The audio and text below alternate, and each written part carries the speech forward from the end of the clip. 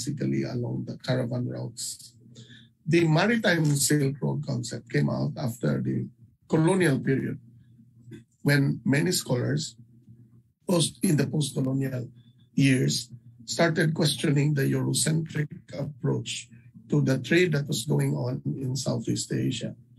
Um, and uh, these papers, this morning and this afternoon, will discuss uh, this uh, trading from the viewpoint of what was going on in Southeast Asia. Um, you, if you are familiar with the, the idea of the maritime Silk Road, uh, it started to appear in the in the 60s and 70s, and uh, it rent asunder the colonial narrative that uh, it was the Portuguese and the Spaniards that started all the Southeast and, and the Dutch that started all this uh, trading in Southeast Asia. In fact, the maritime Silk Road will uh, uh, concept shows that even before the colonial powers came to Southeast Asia, Southeast Asia was very vibrant with trade. The papers this morning will talk about the location of the Philippines in that trade. We have Dr. John Peterson, who will talk on always at the, at the edge of the of empires, the Philippines in world trade in the early modern period, where he will show where the Philippines was in the whole discussion of the Srivijaya, Majapahit, and of, of, the trading that, that emerged after these empires uh, collapsed.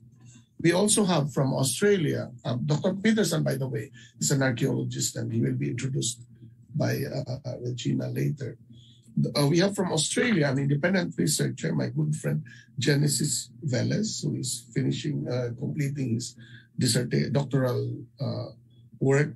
He will talk on uh, why the where Cebu figures or where the Visayas figures into the maritime trade and why it it doesn't appear.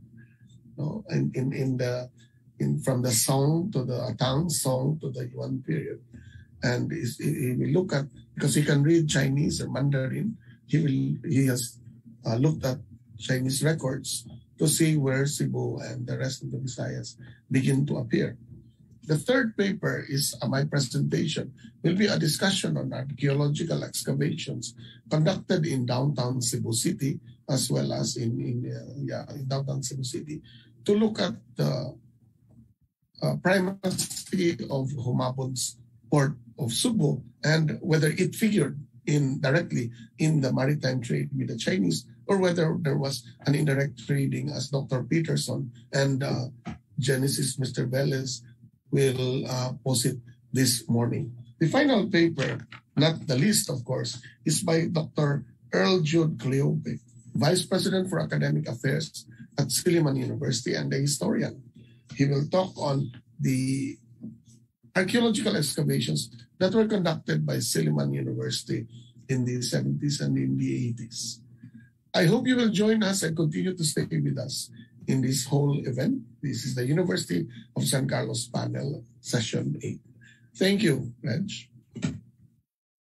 Thank you very much, Sir Jobers. We hope that all of you will be able to join us once again in the afternoon uh, for the uh, second panel of this session. At this point, it is my pleasure to introduce to you our two distinguished speakers.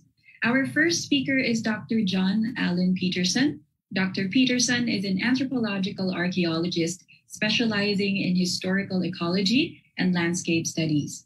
He has worked in the American Southwest, Texas, northern Mexico, China, Congo Brazzaville, Ecuador, and currently in the Philippines.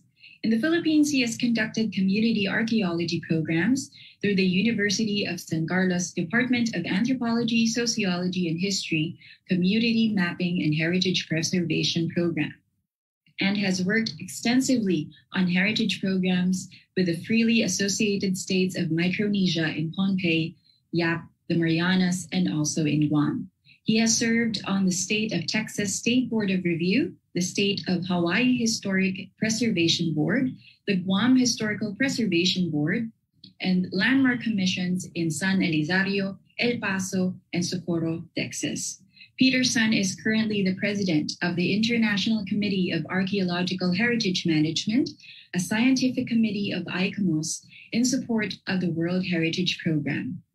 He is a visiting professor at the University of San Carlos and an affiliate faculty with the Department of Anthropology, University of Hawaii, and editor of the Philippine Quarterly of Culture and Society. Our second speaker is Dr. Genesis Velez.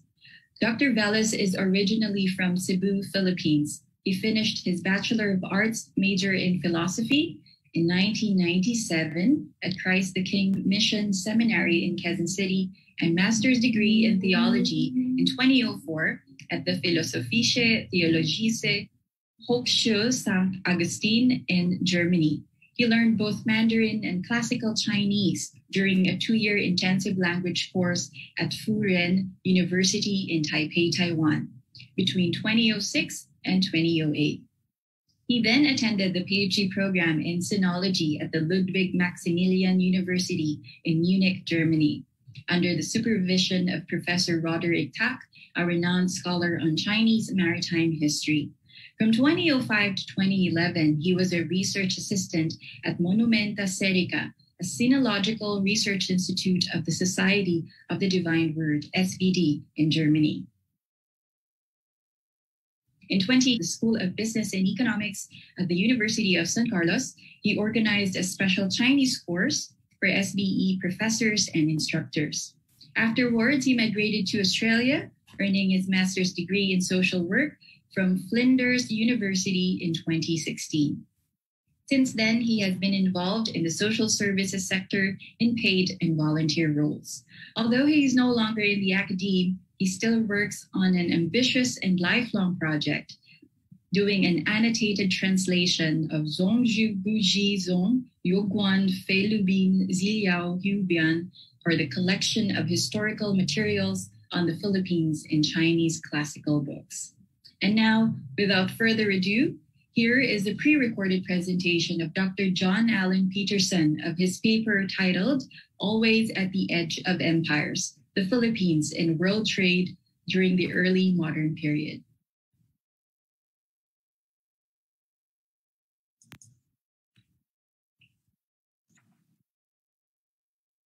The Philippines was already participating in global trade in the 15th and 16th centuries before Magellan made his fateful landing in Limasawa and Cebu in 1521.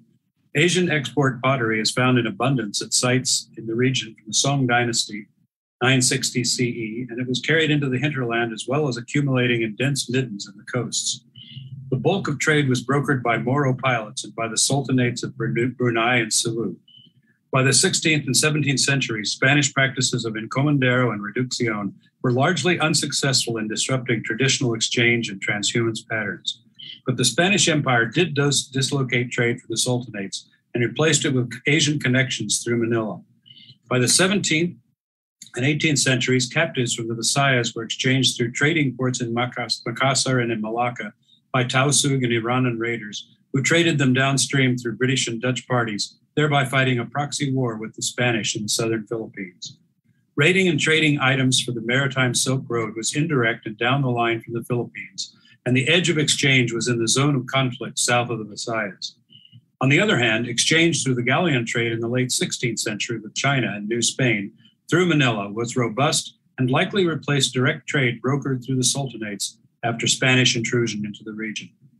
Throughout much of this longue durée, the Philippines remained at the edge of empires, remote and fiercely resistant until Spain co opted native resistance through the same mechanisms that were effective in New Spain the mission, the presidio, and the hacienda. The Philippines is a social construction made up of more diversity than unity, and more far flung islands loosely connected by kinship and language groups than by central places and hierarchies. Those have emerged as a consequence of commerce and empire and colonialization rather than organically from the Filipino landscape in a native imaginary. What the Spanish recognized as a unified place was not perceived in the same way by native Visayans and Lumads, Moros, and Tagalogs, who had a broad concept of their own places and landscapes, but only vaguely recognized an expanded polity of the Philippines. The Spanish encountered a fragmented pastiche of cultures and languages and strived mightily to join it all together into something they could manage. What they found also was that the archipelago had never been aligned or politically allied with any outside polity or people. There had been penetration. Srivijayans had perhaps been trading in the middle of the first millennium. By the 10th century, Majapahit boats were hauling rice from Java to Butuan and other places down the line. By the 14th century, the Moro traders from the Sultanate of Brunei were actively visiting with Filipinos in loosely structured communities in Mindoro and Manila and Panay and Cebu and Bohol and leaving behind porcelain and silk in exchange for forest products and dried tripang. But there was no central place, no central polity, and no so called entrepot until the Moro traders in the south and west and the Spanish from the north imposed them on the realm. Any other trading had been down the line from the Moluccas outward with spices, an exchange that grew in the colonial era as cloves were highly prized in Europe for meat preservation, and cinnamon, nutmeg, sandalwood, etc., were unique products of the region. They had moved through the region prior to European advent and were mentioned in shipping bills of lading in Guangzhou before the 16th century. And Ternate did become a source of cloves to outside traders in the southern commercial zone. As Rodney Ptak concluded, how did cloves reach Sung China? Some sources on pre-Sung and Sung maritime trade mention the Moluccas but are silent about direct connections between China and these of the other outer, uh, uh eastern Indonesian areas nor is there any evidence of East Indonesians living among the foreign communities in China's ports. Hence, it appears that Java, Srivijaya, Champa, and perhaps Butuan on Mindanao, if Butuan is really Butuan, functioned as the chief re-exporters of cloves to the Far East. The first two places and Butuan probably had the most direct access to the Moluccas, while Champa probably received its clove through the Indonesians themselves or through the foreign community resident on its shores. However, there is no clear evidence pointing to direct connections between Champa and eastern Indonesia, nor can I find any written statement on Philippine merchants sailing to the North Moluccas. All this might imply two things. Comparably, few ships sailed through the Celebes Sea, and if consignments of cloves passed through uh, this area, they were likely to change hands in, in, in Butuan before reaching Champa or China. However, in view of Srivijaya's and Java's commercial influence, most cloves arriving in Sung China probably left the Moluccas by way of Java. Traders were contract, contacting collection centers in the Moluccas and possibly in Butuan, but elsewhere it may have been more sporadic. Were there centers for trade? Pigafetta notes the extended settlement for seven leagues along the shore in central Cebu without any indication of a primary or central settlement. Certainly, it wasn't marked by monumental architecture, and even the Datu house was probably as modest as all the others the chiefly palisade wall around the Datu's house in Tanjay Negros, found in an archaeological excavation, was the same dimension as the typical Visita compound and was likely from the early church rather than any chiefly center. The Spanish appear to have created the same central places in the Philippines, while the locals relied on networks and dispersed places. the Spanish didn't first explore the interior of Cebu, but remarked that locals were hard to keep on the missions the native inhabitants would perhaps attend the Mass, but disappeared into the hills to their highland residences. Perhaps they occupied stilt balai along the shore when visiting the coast for fishing, much as the residents of Dalaguete are known to have done from historical records. A study of pottery and constituent elements uh, using ICP-MS technology was done to examine patterns at the Salug Church in Valladolid. Earthenware pottery was found on the floor of the church during excavation. It was compared with earthenware from a Neolithic site in Carcar and Kamasuhan in the highlands, as well as with modern traditional pottery made in Sibonga, and with a clay source next to the Salug site in Valladolid, known to have been used by the, in the Sibonga potters. The clay also underlay the walls of the church, and radiocarbon dating of the clay and the soils determined the clay to have formed from about 1000 to 1200 AD. The modern pots matched the clay, but none of the other pottery had used that source the Neolithic pottery was made a thousand years before the clay formed. The Highland pottery was made from a source adjacent to the church, was not made from a source adjacent to the church, suggesting that the permanent residence was in the hills and that the Salug site was only occasionally occupied. Sherds from Bohol from across the Bohol Strait, interestingly, did match the Tuyum source, suggesting cross straits interchanges may have been stronger than interior coastal interaction. In any case, lack of local pottery suggests that the reduction did not work, at least in the early years of the missions in the era 1599 to 1622, during the short life of the parish. Many sites in the eastern coast of Cebu have abundant Asian export porcelain on the ground surface mixed with local earthenware sherds. Was this a commercial exchange from as early as the 10th century when Song Dynasty celadon can be found on some sites? And was it an indication of a commercial entrepot in the 15th to 17th centuries? Aside from debris found abandoned in excavations, it also appears with burials from the period, such as in Bohol. The pottery was evidently valued, but what was the character of the relationship to the pottery? As Arjun Appadurai asked about the social life of things. Robert Fox noted that the clear ringing tone of porcelain ceramics from China, along with its pleasing appearance, made it an invaluable ritual element.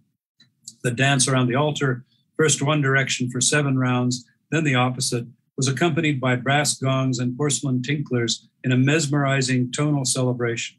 Fox suggested that the value of the pottery was for this ritual accompaniment rather than for commercial exchange.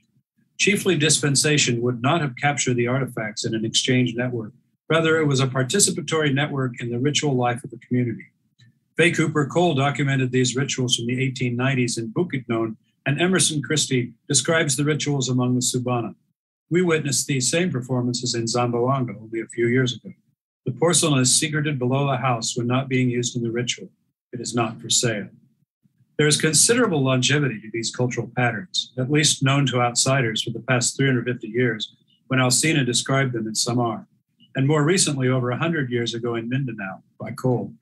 Given the continuity of material culture at burials and hilltop ceremonial sites, they appear to have been practiced for at least the past 2,000 years. The hilltop Alionar site in Kanya near Carcar was first excavated by Rosa Tenazas in the 1970s. A retired vet who had married into family in Napo found basalt adzes and earthenware pottery on the ridge tops around Napo on a ridge called Tingiz locally. He attended one of Rosa's courses at the University of San Carlos and then introduced her to the sites. Rosa found an infant burial under some stones, much broken debris from small jars, and juvenile pig bone. She interpreted it as a Neolithic period ritual site, noting the burial as a significant element. We revisited the site in 2005 and confirmed her findings along with radiocarbon age from about 2,000 years ago from charcoal in a rock feature. We had just attended the Black Friday Subanan ceremony in Tanggu, and were astonished at the similarity in setting and material culture, and the absence of any residential features on the small hilltop site. It was a powerful observation site for celestial events and patterns, with a panoramic view to the eastern sky. Recently, we found what we believe is another of these sites in uh, the Quintorian Hill near San Remigio, Cebu. The hill is in a similar setting with a commanding view of the northeastern sky, as well as the shoreline and valley where San Remigio is located. The hilltop has several cobble alignments crossing the crown of the hill in parallel lines and a small mound of cobbles at the center of the hill. The debris from many small, broken earthenware jars is scattered among the rock alignments as well as on the hill slope, climbing to the hilltop. There are no residential features, and the alignments are not similar to terrace walls on the lower slopes built to retain soil for corn and other crops. If there is any kind of central place in the Visayan landscape, it would be these ritual foci where Orion could be viewed rising in the evening sky, or solar events could be commemorated. Notably, there are a few 15th to 17th century porcelain sherds found at the archaeological sites along the coast that we documented in our first field season of the North Cebu Archaeological Project. Burials excavated at the San Nepomuceno Church and at nearby Lapyahan are from the Metal Age, or 500 to 700 BC, and or CE, excuse me. And the grave goods are locally made earthenware jars, some used for cremated remains. Notably among the grave goods is a very unique ceramic disc in the form of a linglingo, found on the chest of a burial that was found in the 2011 excavation season. Two more large ceramic discs were found in the 2021 season without the distinctive linglingo shape. Another is documented in a collection in Manila found at the Gigantes Island near Panay, a straight shot from San Remigio across the Visayan Sea. Were these markers of cultural identity or ritual alliance? It appears to be a sign of a shared culture in this region. It denotes the linkages of peoples among islands in a maritime network. The central places don't appear to be entrepot, but another kind of power site, perhaps linked to the observation hills that may be scattered widely throughout the region.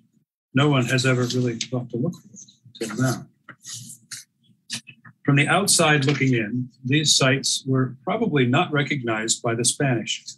They are impermanent sites on permanent landscape features rickety wooden frames with a platform surrounding roasted juvenile pigs, small earthenware jars holding aguardiente or possibly tuba, boiled eggs and other meats, all of these decaying rapidly in the, uh, in, in, in, the, in the atmosphere.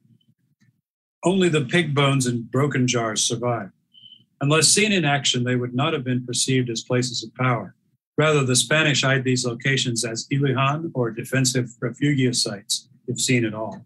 From the inside facing out, however, these sites must have been central, secret places in the landscape that linked networks of people in kinship and language families in, in the locality, but also regionally in a shared tradition.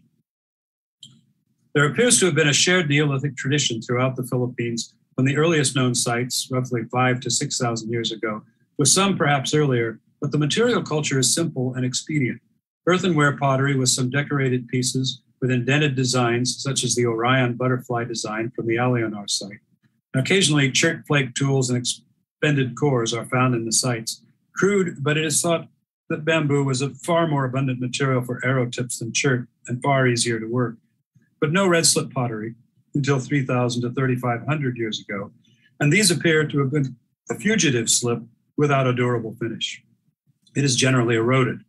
Later, in the so called Iron Age, circa 2500 to 1500 years ago, a higher quality finish appears in vessels used as funerary urns in caves.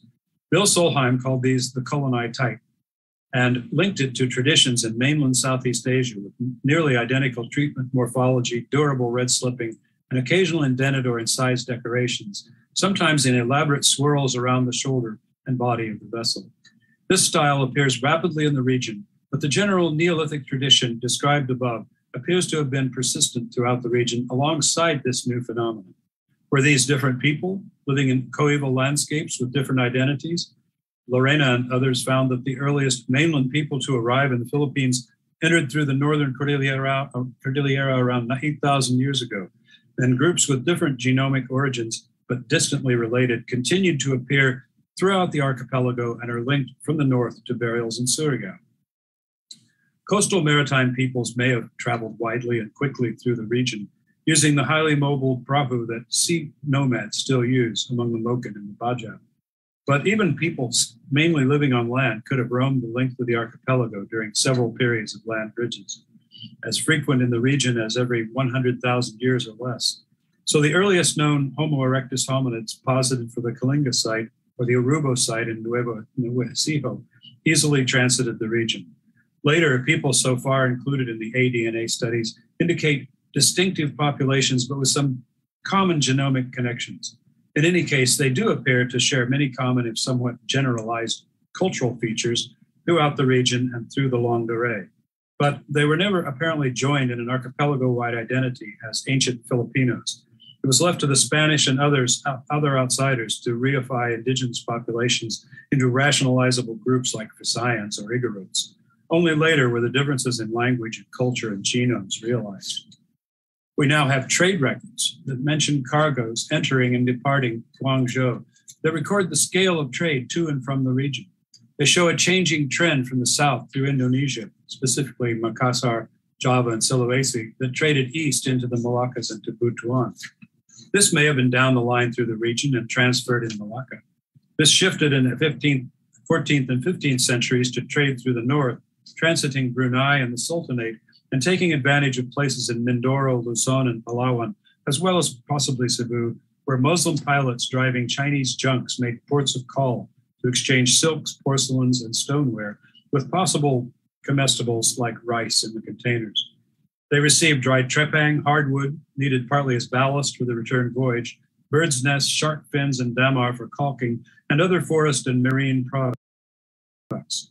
It was a routine trade, perhaps uh, annually through most regions, but did not create trading centers, so far as we know, that were central places in the native mind. They were occasional or conditional locations with good anchorage, protection from storms, and access to sufficient population from among the scattered villages and residences along the coasts and in the highlands. They do not appear to have grown into formal ports with improvements in permanence. They were persistent places, in the words of Sarah Schlanger, but not improved ports. These were not to be developed until Spanish settlers built harbors, forts, churches, and roads along the shore. Then they became central places for trade and hierarchical and stratified governments. Nonetheless, it appears that the native places persisted in the shadow of urbanization and Europeanization as scattered, unfocused villages and Balai along the coast and scattered throughout the highlands. These connections were the first contacts by an external global network and were selective and few at the beginning. But by the 15th century, when Muslim culture proliferated in the region, the Philippines rapidly entered world culture, albeit with a Middle Eastern flavor. Within a century of this earliest world contact, Portuguese merchants entered the region from the west, and a few decades later, the Spanish expedition of Magellan introduced a Western Christian colony in the Philippines that was to be fully exercised after 1565 with the arrival of Legazpi. They soon moved to Manila, lacking sufficient food in the Cebu area, and displaced a nascent Muslim community established by the Brunei Sultanate and more cordially sponsored a Chinese Parian community as trading partners in the region. The ultimate Portuguese goal was the spice trade, while the thrust of Spanish trade was direct connection with China and its ceramic, silk, and stoneware heritage. Ultimately, through the Manila Galleon, Manila became the nexus for exchange of silver from the New World for China's production. This pattern of cultural invisibility continued throughout all of the known history of the colonial encounter. In the age of the occasional junk laden with porcelain, perhaps as early as the Tang or surely the Song dynasty, a few foreign artifacts accumulated sites from these periods. By the Yuan period in the 14th century, greater stability and support of commerce, the Mongol usurpers led to regularity and increase in trade routes, switching to the northern reach of the Philippines. In the 16th century, Spanish settlement and the establishment of the galleon trade even more regularized this commercial network. Our excavations at the Jesuit house in the Parian district of Cebu City shows that there was robust exchange from the late 15th and early 16th century that rapidly grew in the late 16th century in volume and diversity of materials to include stonewares from mainland Southeast Asia and late Ming Dynasty Wanli period ceramics, as well as a novel high-fired ceramic with stamped designs that could be something similar to Manila ware or possibly ceramics imported from Myanmar, as uh, thinks possibly John Miksic. This period of interaction among foreign and indigenous cultures also had evidence of native cultures like fish corrals alongside the edge of the late of the sea, late 15th century remains of the now ex- extirpated native tamarau, and chicken bone and fighting implements like an iron blade or tari found at the Jesuit house. Clearly, native Visayans were interacting within a vibrant network of materials and culture and already expressed a vital shared culture throughout the region with connections even into the northern and southern archipelago. For example, Tausug, Iranon, and Balangingi were perhaps already intrusive from the Sulu Sea raiding for slaves in the 17th century, and gold was found in burials in Cebu that could have been from sources in the Agusan del Sur or perhaps Masbate or Ilocos where gold was mined. But was Cebu City an entrepot or central place before the Spanish created one in the center of eastern Cebu? Or was it one of many good anchorages along the coast where precisely the same material culture is found in archaeological sites with notable differences in relative periods and densities, but not in any place demonstrative of a permanent central trading platform? That concept of a networked environment extends to all of the Philippines before the Spanish. There appear to have been many local places with good anchorage where offshore traders could stop for exchange with local villages. But except possibly Butuan, did these grow into established trading centers until the age of foreign colonization? And further, there, there does not appear to be any dominant extensive material culture that would denote a Filipino polity or even shared vision of a Philippine archipelago. The Philippines were thus invented by the outside world, and that is not a revolutionary viewpoint to recognize, but that the Philippines was so well hidden from the larger world of empires and commerce until so late into the 16th century is remarkable. There were sallies around the edges, maybe occasionally junks would penetrate the interior, but the world largely was unaware of the diverse and dispersed peoples living in the region.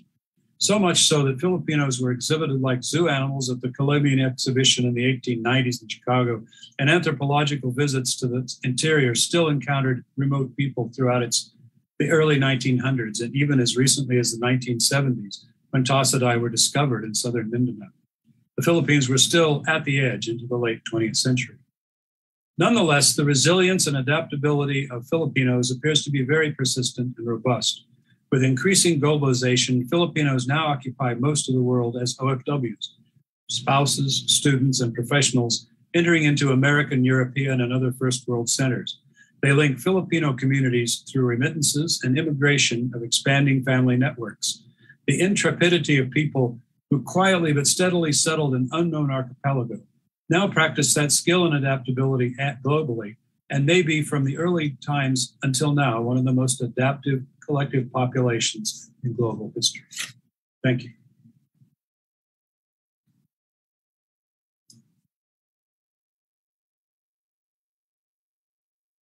Peterson's presentation. Thank you very much. I think Dr. Peterson is already here. Um, if you have any questions uh, regarding his presentation, he will be able to answer them. Do we have questions from, from our attendees? You can use the Q&A box, or if you are tuning in via Facebook live stream, you can actually leave a comment on the live stream on the NQC official Facebook page. All right, do we have questions from the group or participants?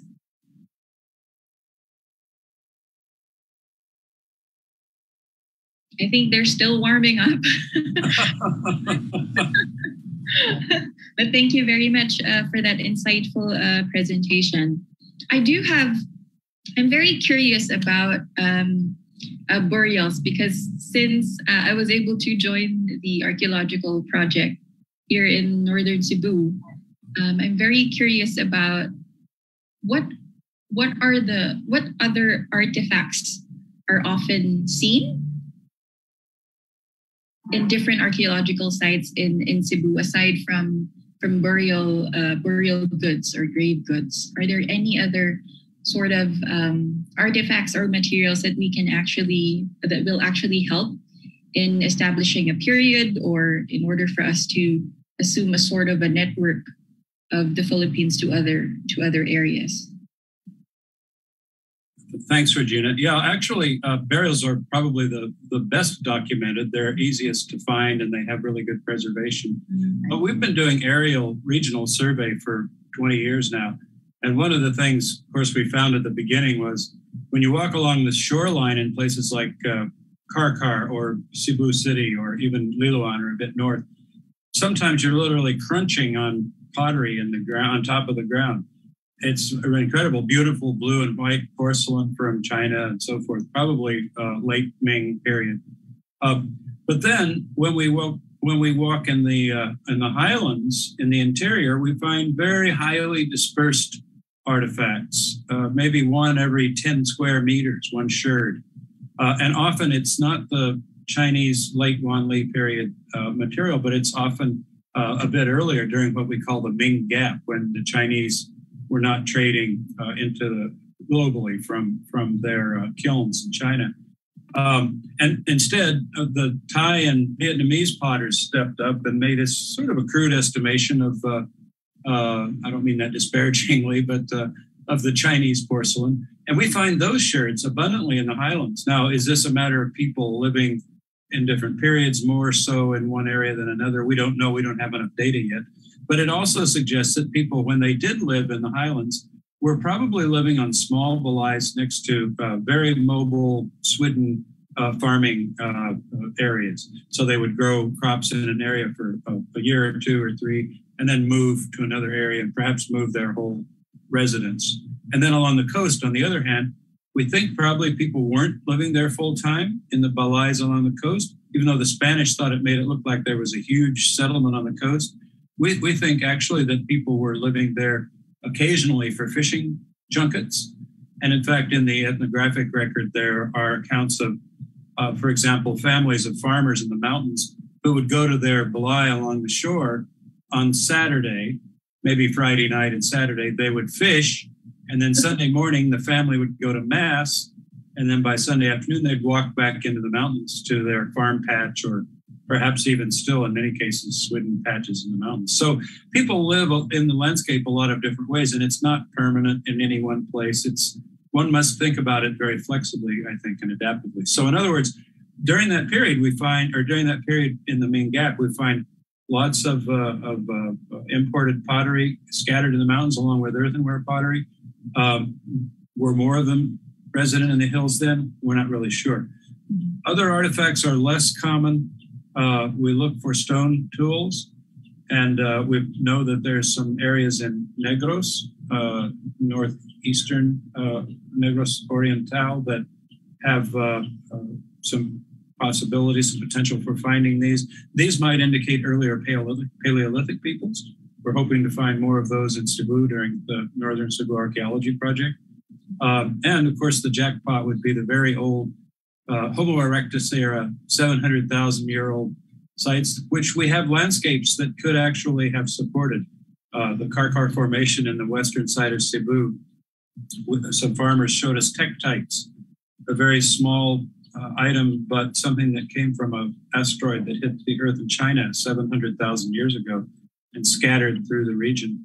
Anyway, they're there on the land surface which has eroded a little bit, but it's still a highly, uh, a, a, lot of potential there to find this earlier 700,000 year old settlement like the Kalinga site in the northern, which is in, in, the northern Philippines, which is incidentally on the same age landform as the Carcar Formation. So a lot of exciting stuff, different kinds of artifacts, but the majority of what we'll find is probably in the burials. And so far, we only have in Cebu burials from say right around 1400 to 1600 and then at, for example in Bohol. And then we have of course the, the San Remigio from 500 to 700 AD or CE so we've got a lot of work to do. The biggest problem is there's been so little work so we need to make sure we get uh, more field time we got to go next week let's go it's really more challenging now to do archaeological projects because of the pandemic but it's very exciting. yes, it is. We just dodged it in San Remigio Regina was there. We got in during a period of very low uh, uh, contagion, and yeah. we got out before it started, and now it's dropped again. So we're kind of all getting eager to go back up. all right. Uh, John, um, we have questions uh, from our attendees now. I'd like to read the first one. It seems that there is no trading center in the Philippines. Uh, kindly enlighten us. Some are saying that it's Butuan, Mindoro, Vigan, Manila. Were these the centers of trade? I think so. As I read the records and read great interpreters like William Henry Scott and others, I think those are in whatever literature is available, which is very sparse. They seem to be named most frequently and perhaps misidentified. It's it's hard to tell. Uh, but at least in the early Spanish chronicles, uh, Butuan and Limasaua appear to be more of a, a, developed center. And there's a lot of talk about the materials coming in there. And then, of course, the trading records that Roderich Ptak, uh, documented. Uh, be interested in hearing what uh, uh, our next speaker has to say about that if he studied with him. So that's fabulous. Um, but anyway, he, he documented that there was trading with Butuan at least very roughly in the literature. And uh, seems likely that they could have been trading to the Banda Islands down the line, or nutmeg, cloves, other spices, uh, which grow pretty much only there. Um, but Manila seems to have been a, uh, a, Moro, a Moro uh, settlement within a Chinese uh, Parian that, that was very uh, quickly developed. Apparently, it was there when Legazpi arrived. Correct me if I'm wrong on that. Yeah. And uh, so uh, I think that they, you know, there's much talk about how they went north because of the uh, inability to find enough food on Cebu.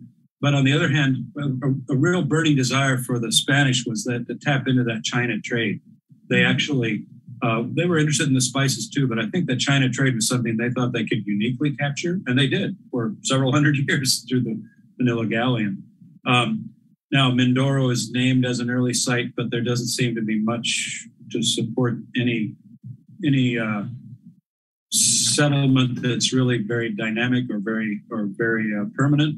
Uh, and and if you read all the descriptions of Cebu when the Spanish came, there did appear to be a, some political power there, maybe some tribal power from the leadership, but you don't read about monumental sites of any kind until the Spanish settled it. Uh, and in fact, as we look around the downtown, we've been working on the Patria site for several months.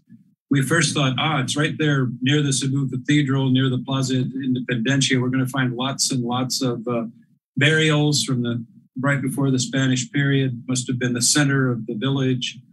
And we didn't find any. but as we looked at the uh, maps, uh, we've been doing environmental maps of downtown Cebu, and as we studied the maps and lidar data and so forth, I think it's becoming apparent that actually that was that area where the Patria is was a wetland, overbank flooding, probably not a permanent marsh, but but at least during periods of flooding. Um, and so people would not have been building houses on it and would not have been burying in it. Uh, interestingly enough, we found a horse there. And this is going to be a fantastic uh, uh, question and hopefully contribution. We're right now doing biometric uh, measurements to find out if it fits into possibly having been a horse from Asia, maybe brought in by Indonesians. Mm-hmm. Uh, and uh, if not, if it came with the Spanish, there are very different biometrics for both of those varieties of horses. Uh, and we're working with Noel Amano at the Max Planck Institute in Jena in Germany. And uh, this will be an exciting uh, addition to the literature. But the disappointment that we had in not finding burials may actually have turned into some new insights into the whole development and evolution of the downtown Cebu landfill. Yeah. So, still progress. Okay. Yes, still progress. And there, I think there were a couple of other questions. Since I finished so early, I might as well keep. yeah. A lot of time to accommodate questions. Um, here's another one from M. Binamira. Hello, thanks for the interesting presentation. To say Cebu City was an active trading entrepot before the arrival of the Spanish could be, as you mentioned, just because of good anchorage.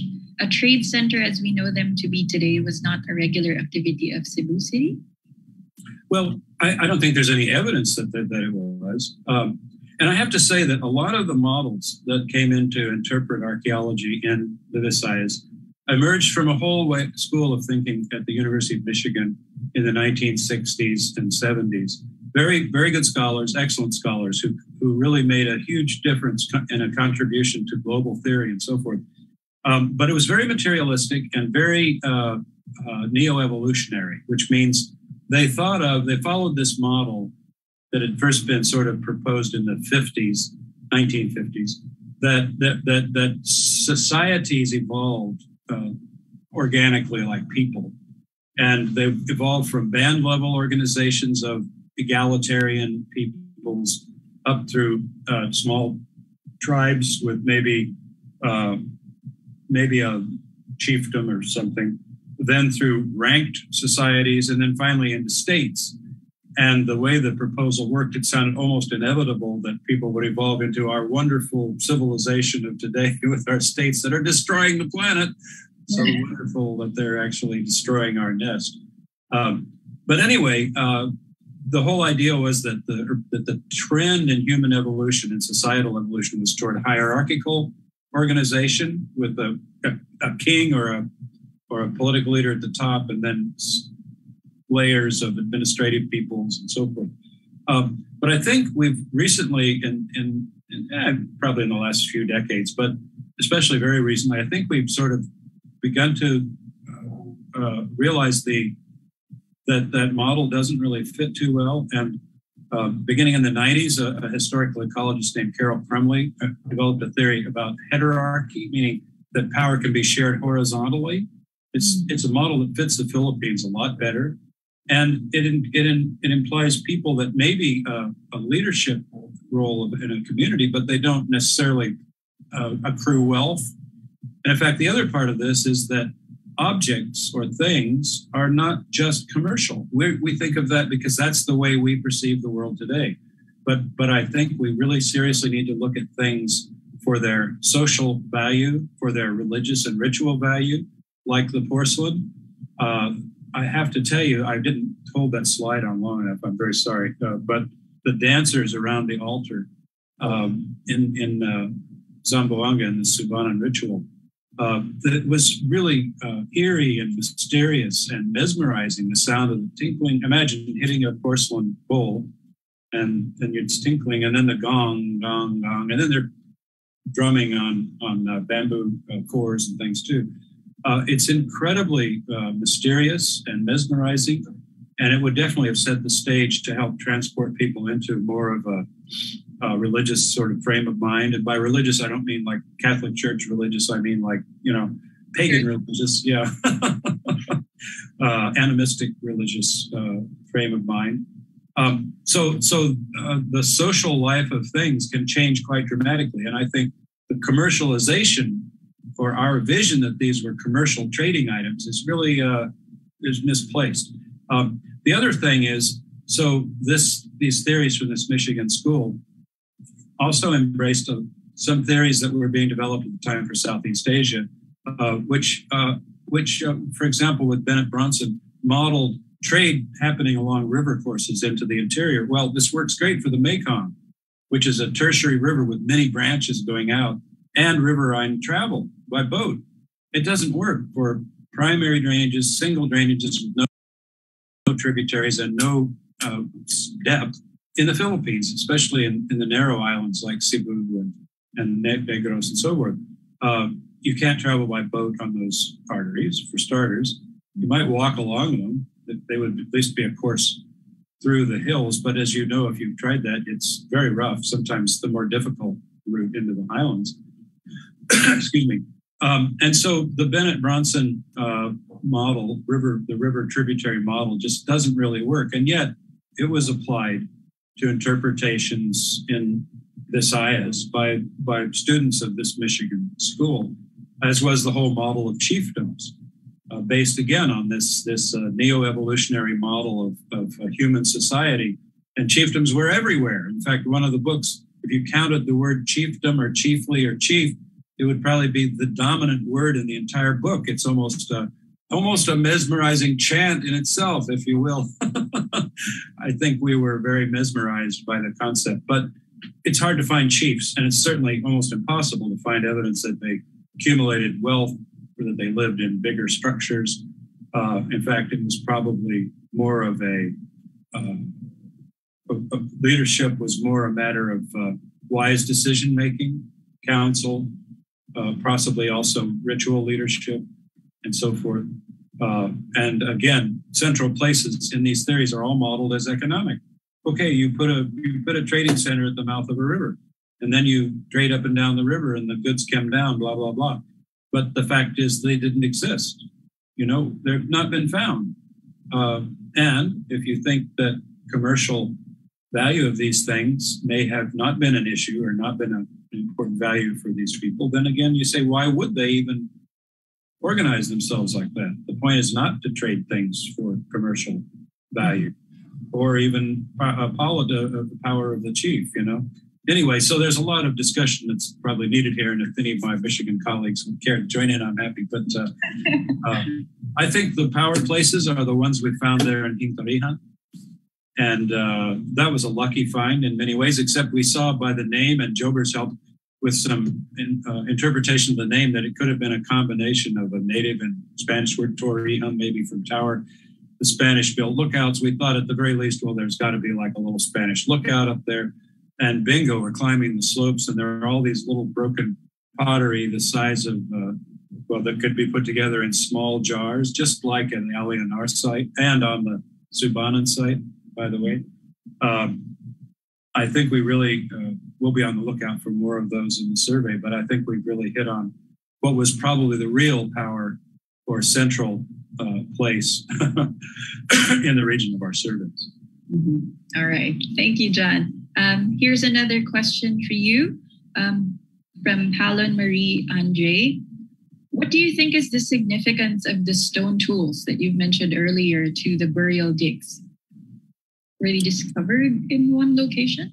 Uh, so they aren't usually discovered. Uh, now, sometimes on sites with pottery, people haven't really maybe been attuned to find them and they're maybe swamped by so much of the pottery they don't really notice it so much.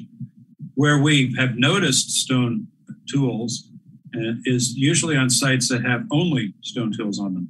We have found a site up uh, in Upper Napo near Carcar with a with a very crudely uh, flaked uh, limestone, uh, dolomitic limestone uh, uh, cores. We call them cores because that's what flakes are taken from, and flakes. And these are in prehistoric pre pre Spanish sites. These are often used. In fact, in pre ceramic sites, these are often used for their cutting and and sometimes gouging qualities and so forth. Sometimes we find obsidian. Now we know that those were worked by people specifically brought in for sharp cutting jobs. We found obsidian on the Alianar site, and so did Rosa Tenazas. We have found it in a few other sites. It, we not really sure. I I wish people could help with this. We I think there may be a site where that's naturally outcropping in Negros. Uh, the only close sites right now are somewhere in the Solomon Islands, which seems very unlikely uh, that it would be traded in that far. But anyway, obsidian is an obvious marker for a sharp tool. Obsidian can be knapped, knapped and flaked so finely that it's used. It was before the advent of lasers. It was used for eye surgery. Oh, incredibly sharp. Yeah. Uh, and people in the uh, pre-modern landscape knew that they they selected for that tool. But just chert the flints that you find they'll they'll form as solution deposits in limestone, and uh, and they're very fine uh, cryptocrystalline it's called uh, stone, and they can be knapped and flaked into tools. But we don't find finished arrowheads. I worked in the Southwest and in Texas for many years, and there you get these beautiful. They're called arrowheads or dart points or whatever beautiful, finely made. You've seen them, of course, many pictures of them. Uh, we don't find those here, and that's where I think uh, some of us think maybe bamboo was selected as a better, easier tool to work and expendable. You shoot it once, and it's you know it's easily to easy to whack up another bamboo point. But in other words, they, they were using something because they weren't using the stone. The other thing then is this larger stone tools that are found and are usually part of a tools that are used for battering or maybe chopping or hoeing. Uh, and those we haven't found many of, but there are some very prominent, very important sites in the Philippines that really need to be explored more. Some are there in eastern Negros, shared by a collector who uh, came to the museum. Uh, lots of pictures of really incredible uh, materials that he found there. And, uh, and of course, another is called the Arubo site in southern Nueva Ecija, uh, a farmer was digging a fish pond. He uh, he hit large boulders of uh, of chert, and around them were flakes that were obviously broken off, done by humans or hominids or something. And he went to the National Museum, and uh, Alfred Pollock and Bong Gazong went out to check it out, and they were just astounded that the the stone tools actually appear to be Acheulean which means they would be Homo erectus era or 700,000 years ago. Wow. And that's they were, it's incredible. So these sites exist here. And that's what we want to, we're going to walk a lot of the hillsides of uh, Western Cebu to look for things like that. Looking forward to it. Um, yeah. All right. We have an anonymous attendee. I think uh, I'm just rephrasing um, his question. Have you debunked any information or any previous idea because of your findings in the field as an archaeologist? Have I developed any theory, kind of overall theory for the Visayas? Um, well, yeah, a lot of it is coming out in the, the kind of uh, statements that I've been making here. That I think, I think we have to we have to try to get outside of all of our modern you know, uh, capitalistic, uh, uh, global ways of thinking about things and perceiving things, and as as much as possible, try to try to see what it's like to see the world from a from a for lack of a better word pre-modern point of view. Anthony Giddens coined that back in the I think it was in the 80s. It works very well. Prehistoric we've discarded. Uh, savage, thankfully, we've long ago discarded. Pre-modern means people who who who have a very different way of looking at the world, languages and sense of place and orientation to the landscape all play a role in this. And it's something we have to relearn, I think, as as uh, as uh, people within our modern world, we have to relearn those skills. Um, anyway, I think that people moved differently in the landscape before Europeans, and they had very different. They they weren't so goal oriented. Uh, there's a whole uh, theory of Austronesian migration that many of us are very critical of because it implies like a, a goal orientation. Like people in Taiwan decided to jump on boats and run over to northern Luzon, and from there they spread down the coast and out into the Oceania and founded these cultures and societies and blah blah blah. Um, I I think it's much more sophisticated and it's subtle, but it's I think much more realistic to think about migrations like that as a reticulate process. That word means uh, it basically kind of interbedded and nested kinds of ways of moving around the landscape. And we have, like, if we look at ethnographic models of the Bajau and the Moken, we see that they'll go out for opportunities in the sea. And in those little boats, even by sail, they can go 20, 30, 40 miles a day, no problem. In a week, they can go a couple hundred miles easy. And they go out from ethnographic documentation, they go out to, say, fish in the lee side, say during the Amihan, they'll fish in the north southwestern side of an island where the water's calmer. And then during the Habagat, they'll go to the other side of the island. But they may go 100 or more miles to a whole other island. And then they may go visit villages that have kin through matrilineal kin systems or that have items they want to trade for. Uh, and before, when they leave, that this isn't all mapped out. It's it's not like mapped out in their head. It, it depends entirely on how the seasons progress and and information they get along the way. And I think this kind of what we what I would call a reticulate migration is a much more reasonable way of looking at how people were migrating through the islands, through island Southeast Asia, and then into Oceania, um, 3,000, 3,500 years ago. When when 3,000 years ago, it appears there did begin to become some uh, radiocarbon dates from that era show that there was more expansive movement of peoples during that period, not 4,000 years ago. That there wasn't much of anything at that time. No dates support that. But later, and then when you find those dates, they're all over the place, all at once. They're in Indonesia, they're in mainland Southeast Asia, they're here in the Philippines, they're in the Sulu Sea, they're in Mindanao. It's happening, and they're also beginning to be appear in New Guinea in the areas that we call the Lapita area, which possibly came out of this process. Um, but it's happening all at once. Well, of course, that makes sense because people could move so rapidly and their way of perceiving the, the seascape was so different. I could go on about this. I don't know how much time we have, but basically, when people get in a boat, the, the navigators in Micronesia that I've had the, the, wonderful opportunity to work with when I was at the University of Guam, um, when they get into a, uh, a boat, um, they set off, but but they don't go to Guam from Yap. Guam comes to them. It's a very different way of perceiving the world. They are in the center of their universe and they see the constellations and the sun rising and setting and the moon rising and setting. And they sense where they are in the world, but they themselves are not moving. It's the world that's moving around them. So it's a very different time space perception model than what most of us experience we probably don't have the patience for it, you know, for starters. But they have many subtle clues like constellations, but also ocean currents. And they learn this from their parents, the, the earlier navigators. Once they hit a certain point, they should begin to experience a current coming from this direction. And that they'll call, for example, the current that's formed from the gap between Guam and, and uh, Rota. And then they'll begin to feel. So it's very subtle. Uh, but it's a spatial way of perceiving the world.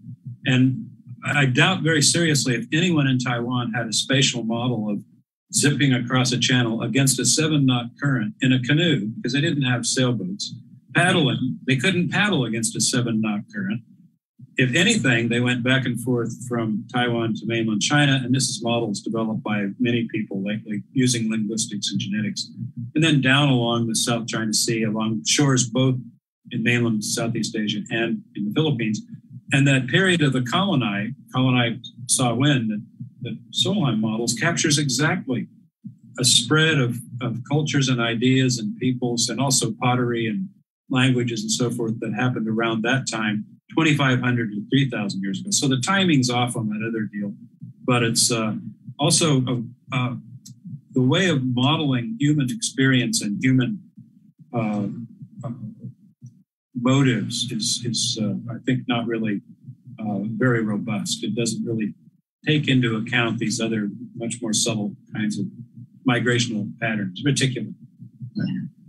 Thank you, John. Yeah, that's very interesting. Um, we have um, actually a comment and a question, I think, uh, on the chat box. She's Evangeline Lopez. I come from the Sibonga town and lived in the barrio called Candaguit, the first barrio of Sibonga after Ocana, Carcar, which Dr. Peterson mentioned. I do recall some kind of excavation or treasure hunting of sort that went on at the time in 1960s. I had the occasion of finding broken pieces of Chinese ceramics in blue design. There is an old pottery making in Ocaña, Carcar, in the barrio of Abogon. I wonder if Dr. Peterson has that in his documentation. Thank you. Are you familiar with that, John? I am. Thank you, Evangeline. So the Abogon potters are the ones, in fact, that are using the clay source in Lead, right next to the old Salu uh, parish that we excavated. We excavated there in 2002. Uh, if someone was treasure hunting, uh, might have been Rosa Tenazas, who wasn't treasure hunting, but it might have been Tony. Uh, you know, I'm sorry, this is, I don't mean this in any denigrating way, but to, they called him Tony the Moro. And I don't know his last name. He was a Vietnam, US Vietnam vet, a black soldier. And they call him a Moro because he was black, right? but he, he married a woman in uh, uh, Napo and uh, was well liked in the area. He had a little motor scooter and he went cruising all over the place. He found Neolithic adzes up on the top of the hills, and he's the one that found that site that we, that Rosa and we both excavated. Uh, and he had some sense of what they were, and he took the material to the uh, USC Museum. Most of what he found, I think, is there in whatever uh, collections Rosa left behind. Anyway, the Abogon potters uh, were also visited by Bill uh, Longacre, and I have a small article where he mentions going there and talking to the potters and then he did before he passed away. We talked about it. He couldn't recall that, but I'll have to dig out that article and find it. So, so the family there has been uh, has been uh, visited by them and by me. My wife's uh, uh one of my wife's school friends is the daughter of the woman that runs the pottery, the family that runs the pottery. They make a fabulous, uh, very well-made uh, little jars and, and bowls for cooking, utilitarian use. I think they make well, they at least make those and sell them in the Carcar market. And they're very inexpensive. Uh, we visited them with the idea that, uh, uh, well, we wanted to learn how they were making them, but we also thought, what if they could imitate these colonnade burial jars with the beautiful, you know, carinated edges and the nice inverted rims and so forth? And they did. They made a few, and they were beautiful. They did a really good job and we took them to the museum at, with the hopes that maybe uh, they could be sold there to visitors. they're the right size for a tourist to buy and carry home in their luggage. And I told the the potters, I said, you know, if you made those, you could probably get at least ten, maybe more times the money making those, and it's almost identical to the market stuff they're making, and they couldn't believe it. They just thought that was funny. but we never got it off the ground. The museum never really followed through, and so now it's your turn. this, this, pottery making in in um, in Ocaña, Carcar, is it's already an old an old um, livelihood for them. Yes, yes, yeah, at least 50 years, maybe much longer. I don't know. Evangeline maybe can tell us if she knows the family. Uh, uh, maybe maybe we you know it'd be a great ethnographic project for somebody to do for a master's thesis or something. You know? Right. And what, why did she why did she discover uh, the blue blue ceramic, blue and white ceramic? That's just appearing on the ground around there near Abogon. We actually there's one site that we were going to work on. A student from Ateneo was going to work on, uh, or I guess it was the University of Hawaii at the time, was going to work on it. It's out in the mango uh, uh, plantation out sort of toward Ocaña from. Yep. And uh, there's lots of blue and white ceramic there right on the surface and in the upper deposit. So it's all over in that area. Uh, must have been a fair amount of coastal settlement but mm-hmm. there's no way to anchor, you know, like junks and galleons in there. You know, I don't think it could ever have ever developed into a uh, an entrepot of any kind, like supposedly these other areas did. I suspect that those large ships stopped at places where they could, where the where the uh, uh, geography on the lands on the coast gave them a deep anchorage or some protection from storms and so forth. But much of the area is uh, full of very shallow coral reef uh, platforms, and you just there's just no way to land a boat. So the entrepot, quote unquote, I think emerged in places where people were already living but dispersed along the coast. But then wherever the ships could get near them is where there might have been a little more concentration. And then over time, with increasing Spanish settlement, they concentrated uh, probably uh, settlements in those areas. All right. Well, Evangeline uh, is really quite interested to pursue a documentation on awesome the pottery making. reply. And she's hoping that um, she could probably meet you or visit you in your office when she's in Cebu. Yes. Yeah. yes, that's fine. And if nothing else, we can do a messenger call to each other. But uh, we come to Carcar. So my wife's family is from Napo and I'm not sure when we'll be around there again. But we also keep in touch. Maybe send me an email. I'll put my message, my address in here. Yeah, uh, other attendees are actually asking if they could ask for your um, email address. Thank you very much. Um, we have another question over here. Um, I think this is from PIQC Technical Group. Uh, good morning, Dr. Peterson. Was Samar Island which is at the edge of the Pacific, involved or included in the trade route, or did it play any role in the early trading traditions of the Philippines? The early Spanish trading, you mean? Um, well, most of it, well, from the galleon trade that was going a bit north of there because it went from like Cavite and then over through Sorsogon. So it would have been the very northern end of Samar, would have been where ships were going out into the open Pacific. That would have been uh, possible. Um, the very earliest settlement through the south, Home, for example, uh, well, that's south of Samar. I think I don't have a map in my mind. I'd have to go. It's around the corner. I'd have to go. but there was. Uh, uh, I don't think there was any like direct landing on Samar. Somebody might, maybe uh, Raleigh Boronario could correct me on that. But uh, I, I think if there was anything, it would have been in the north, the galleon trade going out through the through those passages to the Pacific, or in the very south, the way that uh, the Spanish were first entering the region uh, before they got to Limasawa and then up to Cebu, uh, but not in the middle that I'm aware of. I, I, could easily stand corrected on that and would be happy to be. Were you, were you able to include that in your map earlier in your presentation? Well, there's the- nothing, nothing along that whole eastern side. At least the material that came from Roderich Ptak and others, they don't mm-hmm. show anything. Uh, and and and there were some anecdotal um, comments. Uh, well, I'm not sure. I think William Henry Scott mentioned some things about maybe a big junk like beginning in the Yuan would dynasty period would cruise through the area. Maybe they would often have. Maybe they didn't have regular routes. It's hard to say. But once a year, each of those junks could carry a hundred thousand ceramic vessels. They're enormous, especially the ones during the early Ming period.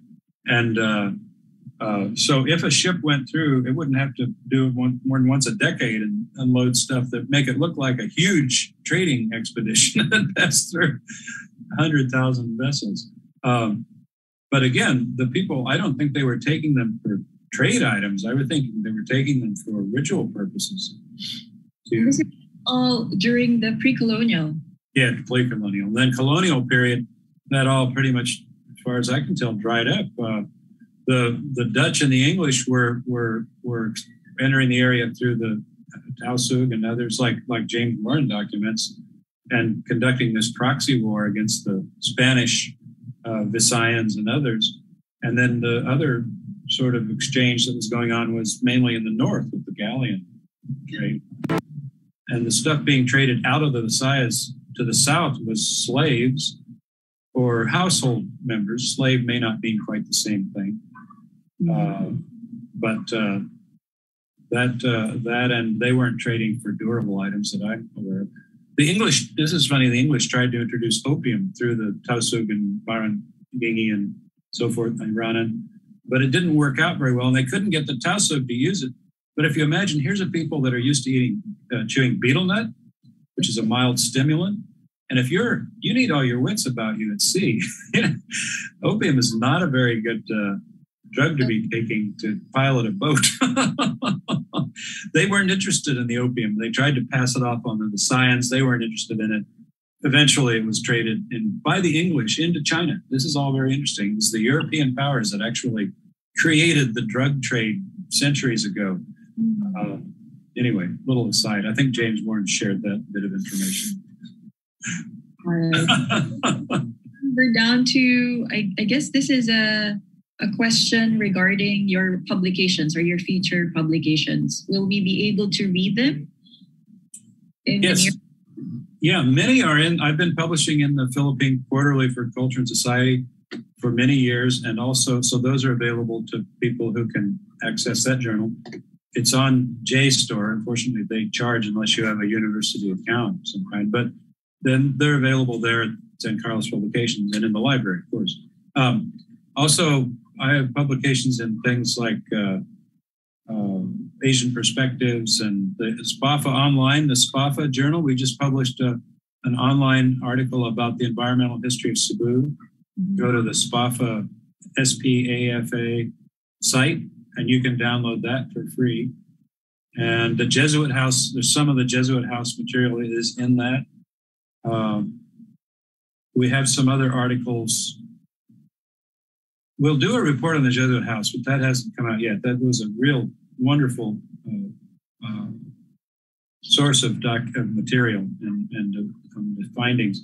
And then our San Remigio project, ongoing now. We have some field reports, uh, but we'll be developing them into uh, long report publications, maybe book publications from San Remigio and Northern Cebu. Those are coming up. Uh, but I'd say the easiest things to access would be the Philippine Quarterly, and then the online SPAFA journal, which is you can just download that. Yeah. Yeah. All right.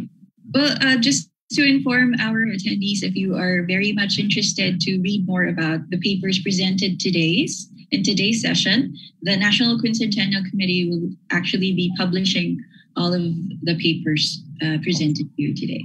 Okay. All right. Thank you very much, uh, John, for uh, having. You yeah, the time to be here with us. And uh, take care. Are you still in Germany? No, no, I'm, I'm home after what, what turned out to be like almost 12 days of different quarantines in Germany and here. And I'm so happy to be home. I have to say, don't travel for a while. It's not worth it. I see. Welcome back. Thank you very much. And we hope to see you see you again later. If you yes. I'll be around through the day. I'll, I want to tune in on my colleagues' presentations. So. Okay, thank you very much. All right, so now we are going to proceed to the second paper presentation entitled From Exclusion to Inclusion, the Visayas and its Participation in Long Distance Trade with China, to be presented by Mr. Genesis Velas, an independent researcher and a former fellow of Monumenta Serica. Sir Genesis, are you around? Can you hear me? Yes, sir. Hello? Yeah, loud yeah. and clear. Yeah. Okay.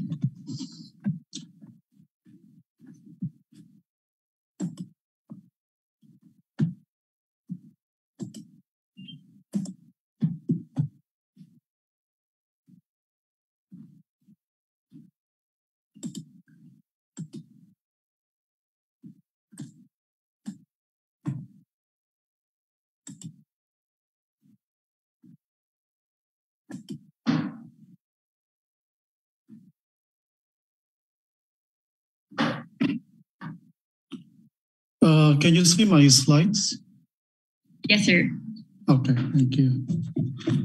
So, good morning, and I don't know, it's afternoon here in Australia.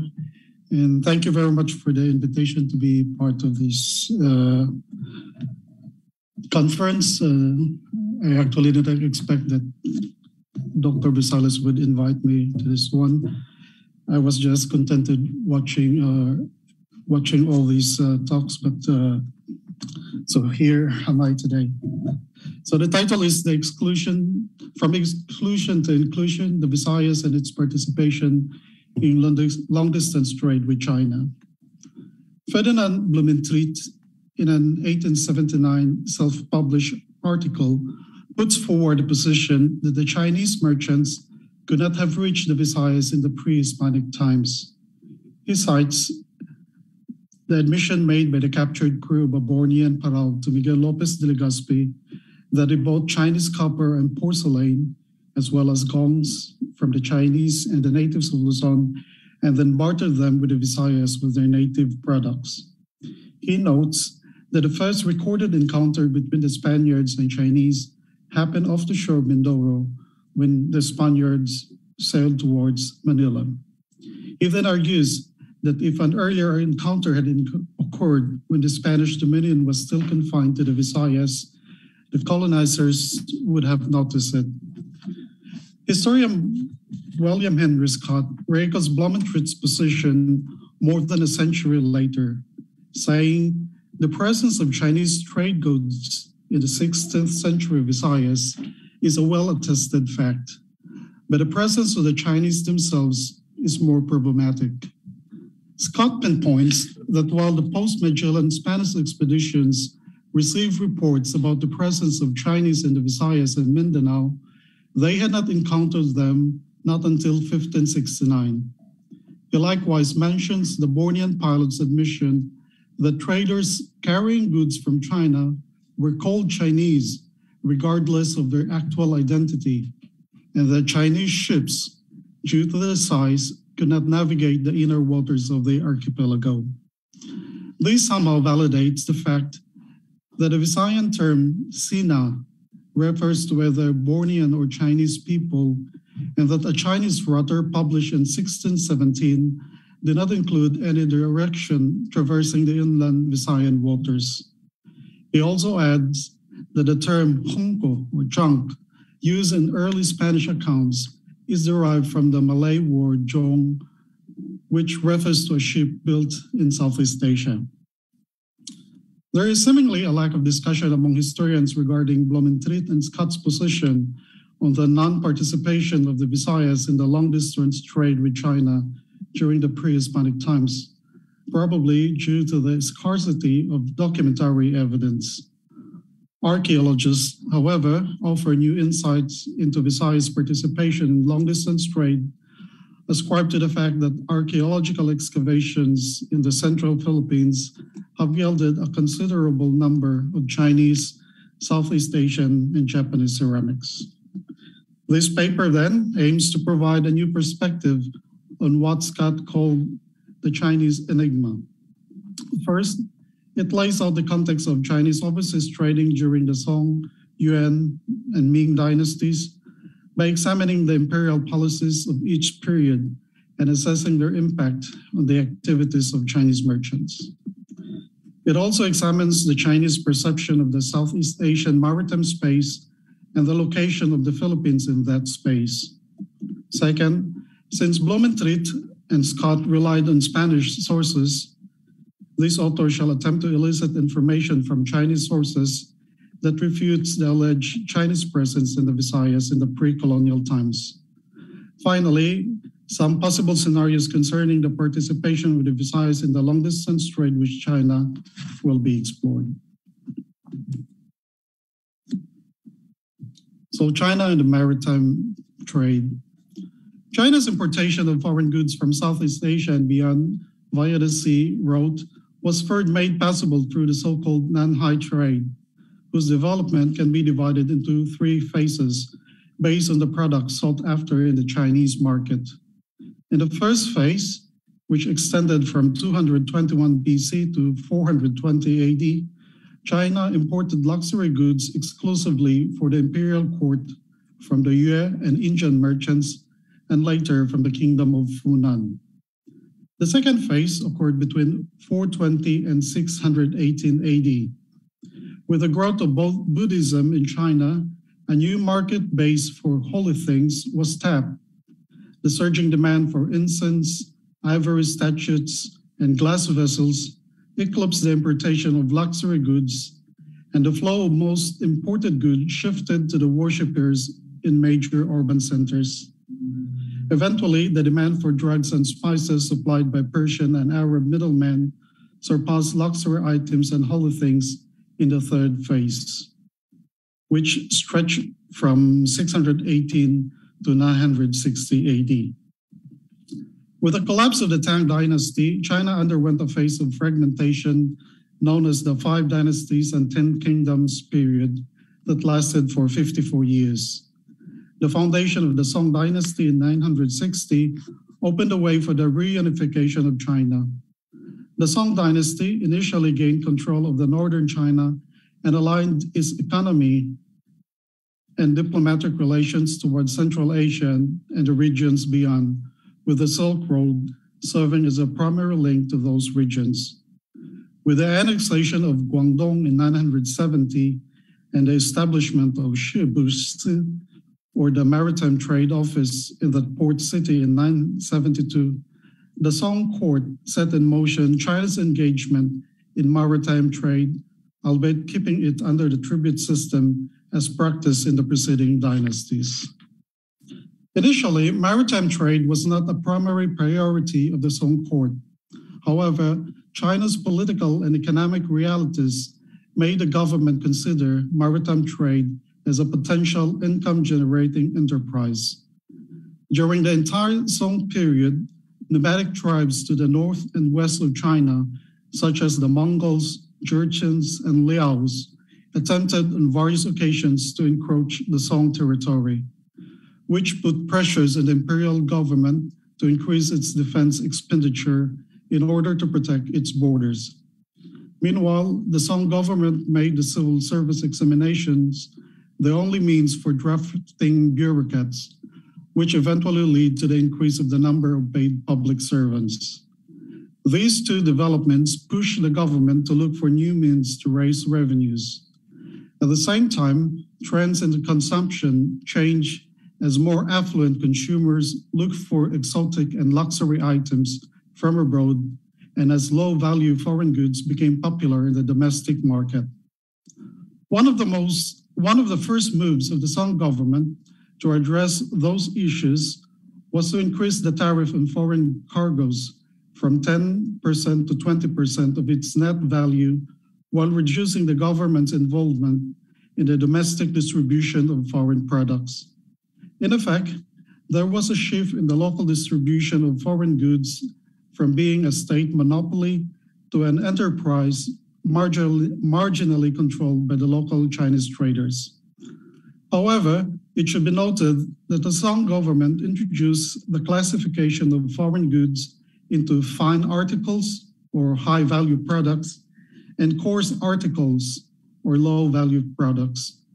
When the government reduced its market share of foreign products, it only gave the private merchants access to low value products which made up most of the imported items and kept the local distribution of high value products. In 989, the Song government allowed private merchants to travel abroad and bring foreign goods back to China. However, they needed to adhere to specific provisions. First, they had to register before their departure at Chinese ports with established shibus to indicate their ports of call abroad. Second, they had to report at those ports upon their return for customs of inspection. Third, they had to limit their journey to one monsoon period, which means that they had to leave China in winter and come back by summertime. Unfortunately, compliance with government regulations was time consuming, and the time restraint imposed on the foreign troops prevented many Chinese traders from engaging in the importation of foreign goods. Unprecedentedly, in 1090, the Song government allowed prefecture level governments to issue travel permits to local Chinese traders, thus devolving the issuance of permits from a state to a local matter. The state, however, maintained its control over foreign trips, foreign ships coming to China. With the ease of acquiring permits to travel abroad, more and more Chinese merchants ventured into foreign trade and imported products sought after in the Chinese market. After centuries of defending its borders, the Jurchens gradually overpowered the Song army, which eventually led to the fall of Kaifeng, the imperial capital, in 1127. As a result, the Song court moved its capital to the port city of Hangzhou. This started the period that historians would call the Southern Song. The loss of its northern territory, traditionally the cradle of Chinese civilization, also meant the substantial loss of gov- government revenues. Deprived of access to the Silk Road, the natural tendency of the Southern Song was to look towards the maritime region for diplomatic and economic relations. By 1234, the Jurchen controlled territory fell into the hands of the Mongols, but it was not until 1272, under the leadership of Kublai Khan, that a dynasty in traditional Chinese style was proclaimed. The Southern Song coexisted with the newly established Yuan dynasty for eight more years before finally succumbing to the Mongols in 1279. The Yuan government, however, maintained the Song's maritime policy with some modifications over time. For instance, the distinction between fine and coarse articles was retained. The changes that the Mongols introduced included the lifting of time restrictions for foreign trade trips, thus enabling traders to go to faraway places and stay abroad for a more extended period. Under the Mongols, Shubusi issued licenses to private traders and provided them with capitals and ships. Traders paid back the government by remitting 70% of their profits. In this sense, the Yuan government monopolized foreign trade with Chinese merchants acting as their agents. Nevertheless, the merchants became more competitive and aggressive since the government's financing scheme enabled them to expand their business. The, bank, the Ming period, taking into consideration its attitude towards maritime trade, can be divided into four phases. The first phase started right at the foundation of the dynasty in 1368, and this lasted up to the early 15th century. Shortly after the foundation of the Ming dynasty, Emperor Taizu prohibited ordinary Chinese from traveling to the sea and ordered the closure of China from any maritime activity. The new restrictions were intended to regulate foreign trade and foreign relations and to stop private trading. With a maritime prohibition enforced, only official embassies from foreign countries who sent tribute to Ming court were allowed to establish contact with China and engage in foreign trade. The second phase occurred during the early years of the 15th century when China dispatched a series of diplomatic fleets under the command of Zheng He. The expedition's aim was not to occupy trade outposts or establish colonies, rather than rather the incorporation of the rest of the world into the Chinese world order and their admission into diplomatic relations with China and their integration into the Chinese tribute system. Although Zheng He never set foot on Philippine soil, Zhang Qian and other eunuchs sailed towards the Eastern Ocean and persuaded rulers of Borneo and the Philippines to send tribute missions to China. The Philippine politics of Hemauli, Lusong, Fangja Shilan, Sulu, and Gumalalaang sent tribute missions to the Ming court between 14, 1405 to 1424. The third phase began after the end of those expeditions in 1433, with a ban on private trade still in force, and in the indirect trade between China and Southeast Asia was made possible through the Kingdom of Ryukyu, which maintained a regular tribute missions to China. Ryukyu served as an intermediary between China and Japan and Southeast Asia, with Thailand and Malacca as its principal trading partners. Furthermore, the inefficient control of the coastal regions, especially between 1457 and 1520s, and the connivance between traders and some local officials and leading Fujianese families led to the increasing rate of illegal trade. This also paved way for the subsequent rise of the Fujianese networks, which eventually dislodged the Ryukyuan merchants as the principal carriers of Chinese goods to Southeast Asia. The lifting of private trade restrictions in 1567 under the pressure of the governor of Fujian marked the beginning of the fourth phase. This phase coincided with the Spanish colonization of the Philippines, which attracted Philippine merchants to come to the archipelago due to the lucrative Manila Acapulco galleon trade.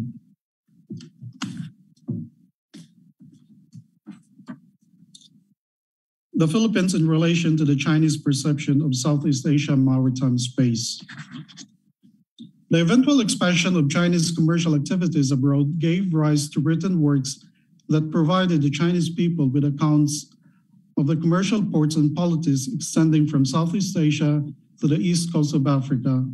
Among the important writings in the Song period are Ling Wai Tai Ta, Chu Fan Chi, Nan Hai Chi, and Tao Chi Lu. These works and all other books published during these periods presented to the Chinese readers some of new geographical concepts which indicated the evolving geographical understanding at the time. Lingwai Daida was written in 1178 by a local magistrate in southwest China named Zhu Chufei. It identifies four maritime regions that are associated with present-day Southeast Asia, uh, namely Dongdayanghai, Nanhai, Xinanhai, and Nandayanghai. So Dongdayanghai is the Great Eastern Ocean, Xinanhai is Southwest Sea, Nandayanghai is the Great Southern Ocean. Of these four maritime spaces, Nanhai was considered the most important because of its association with Srivijaya, which was the main trading center south of China. The waters farther to the south of Sri Srivijaya were called Nanda Yanghai.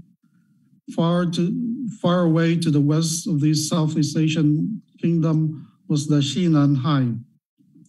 Moreover, Zhu Chufei's description of Dongda Yanghai illustrate the Chinese paucity of knowledge about, about the Philippines and Eastern Indonesia. So in this text, he writes, this text here, uh, southwest of Hainan, southwest of Hainan, uh, there's a, there's a sea called Zhaojiang that is presently the Gulf of Tonkin. In the middle of the sea, there is a three-joint current which breaks into three due to the strong waves. So one current flows southward to the Sea of the Barbarian Lands, one to the north towards the Sea of Guangdong, Fujian, and Zhejiang provinces, and one to the east towards the boundless place called Dongdayanghai, or the Great Eastern Ocean.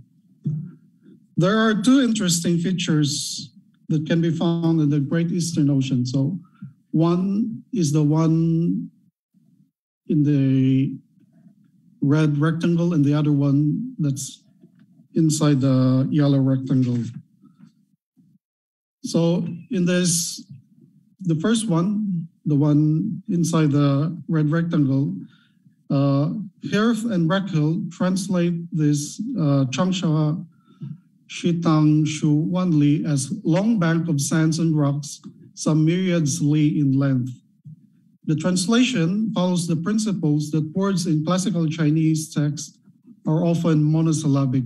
That is, each character represents a particular concept. So, Chang, Zhang, Lo, Long, Sha, San, Shi, Stone, Bank, uh, Tang, Bank, Shu, amounting, one, 10,000, and Li, uh, mile. Sinologist Roderich Ptak, however, argues that there are disyllabic concepts in this set of characters, namely Changsha and Shitang, which are translated as reefs and atolls respectively. He notes that these words are often given the attributes Qian Li, thousand miles, or Wan Li, 10,000 miles in different combinations in various Song and Yuan sources. Hence, Changsha Shitang Shu Wan Li could also be read as reefs and atolls measuring 10,000 miles, which could point to the and atolls in the South China Sea.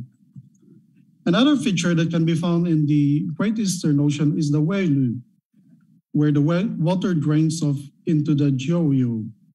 These concepts are derived from Taoism. In the Taoist classic Zhuangzi, one can read, there is no water in the world larger than the ocean.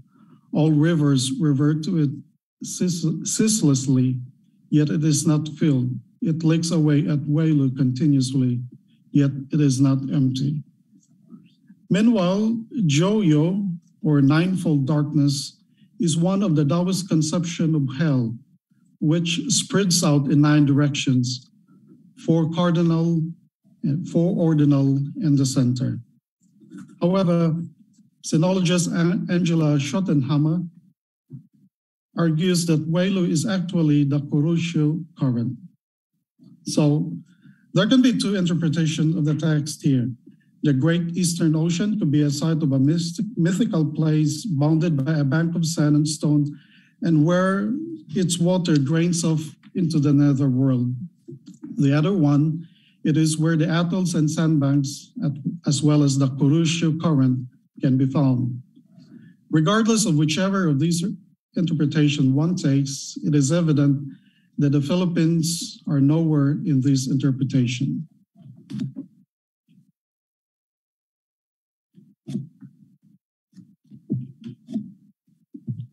Zhu so the next book, Zhu was penned in 1225 by Zhao Rugua as superintendent of the Maritime Trade Office in Quanzhou. Like Ling Wai Daida, it describes that to the east of Hainan are Qianli Changsha, thousand reefs, and Wanli Shitang, 10,000 atolls. And beyond that is the boundless ocean where the sea and sky blend their color. The Wei Lu is no longer existent in the text. Instead, it provides description of two Philippine polities, namely Mayi, believed to be the present-day Mindoro, and Sanyu, which is composed of Calamian, Palawan, and Busuanga.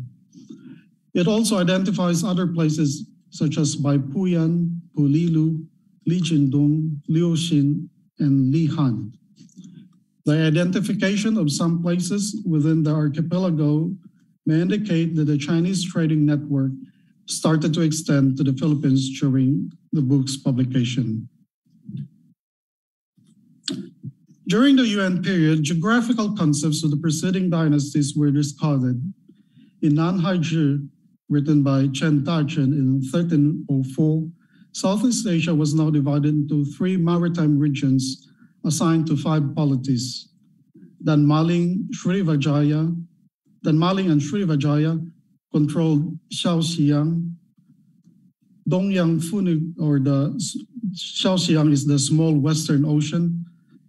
Dongyang Funiguo, which is probably Brunei, took charge of Xiao Dongyang, or the small Eastern Ocean. Tanjung Pura and Java ruled the Ta Dongyang, or the Big Eastern Ocean. Xiaodongyang is comprised mainly of the Sulu Sea and the waters off the coast of Parawak, Sarawak. The polities found in these maritime regions include Malilu or Manila, Mayi Mindo, or Mindoro, Maykun, Manukan in Zamboanga, Butuan, Bud Sulu, Shahuchong or Shukon in Zamboanga, Yachen, Oton, Iloilo, Manolono. It's either the Maranaos of Mindoro or the Malano tribe in Kalimantan, and Wenduling or Cotabato. Based on the text, it is hard to determine the relationship between Brunei and the rest of the Philippine polities. Nevertheless, the list may be an indication that a maritime, net, maritime network within this space may have existed. Wang Dayuan sailed with seafaring traders in 1330s and wrote Dawi Jilu upon his return to China. In this book, the maritime regions in Southeast Asia are further reduced to two, Dongyang and Xiyang, the Eastern Ocean and the Western Ocean. The Strait of Singapore served as the boundary between these two oceans. With this demarcation, it appears that most of the Southeast Asian countries were found in Eastern Ocean, while the Western Ocean corresponds to the modern day Indian Ocean. So uh, according to, Dao, uh, to Wang Daoyuan, uh, he visited 99 countries. So, and according to Ptak, uh, he divided it into Dongyang and Xiyang with these two, Longyamen, which is uh, Singapore, and Kunlun, which is one of the islands near, near to Vietnam, uh, as it's uh, as the boundary between the Eastern and Western Ocean.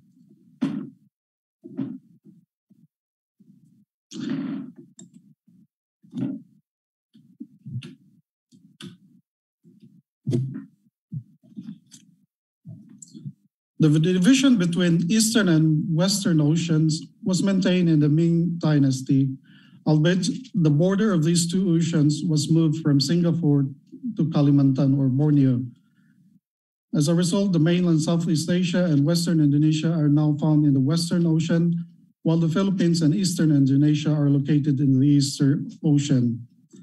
When the Chinese writers in the Ming Dynasty began to give details to the trade routes to Southeast Asia, two main lines emerged, the Western and the Eastern Road.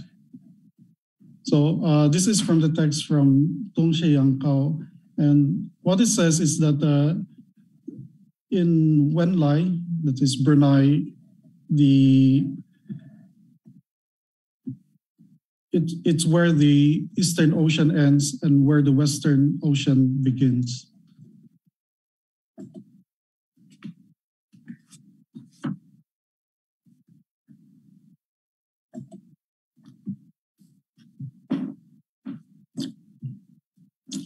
The mine's monopoly on inter-island trade Long before mer Chinese merchants aggressively searched for foreign products abroad, foreign traders sold those goods to Chinese ports. Direct trade between China and the Philippines only occurred when the Chinese traders came to the Philippines in the 13th century. Surprisingly, Chinese traders limited their activities in Mayi and Sanyu. From Mayi, Chinese goods were transported to other islands for barter. The existing imperial regulations may have partly influenced the Chinese traders to remain in Mayi.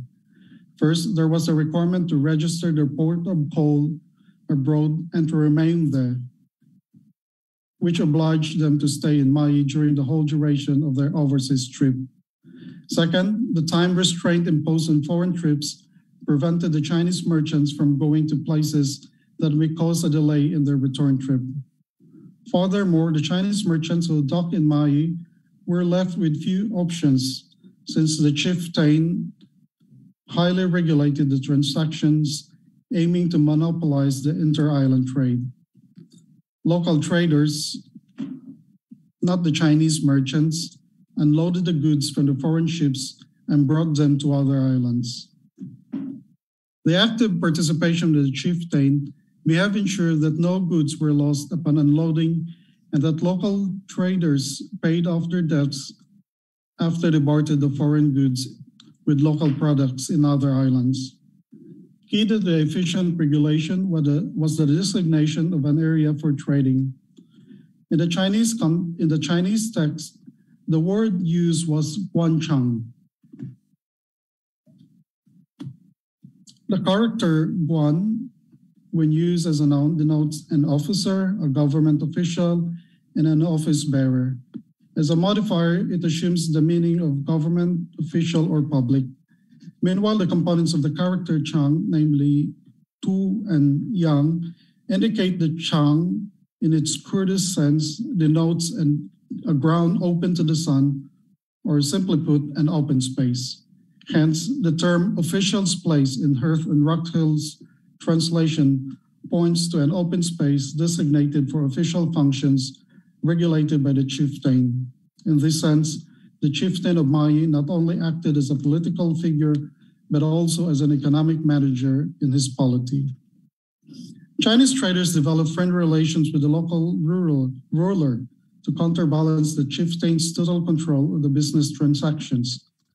This was illustrated by the by the presentation of a gift to the chieftain of Mai upon their arrival. The function of this act was to create a symbolic bond of friendship, which had a conflict mitigating effect in case of inevitable disagreements during business deals. This bond may have also obliged the chieftain to extend his protection on foreign traders, thus enabling them to stay in Mai for an extended period.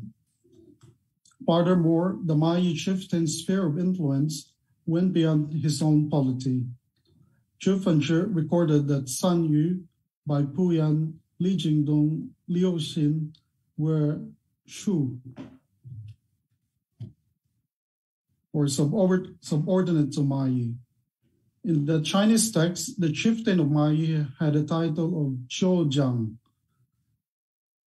The character Qiu by itself stands for a tribal chief, and by pairing it with another character, Jiang, that is elder or head, a, a Qiu Jiang denotes a paramount chief.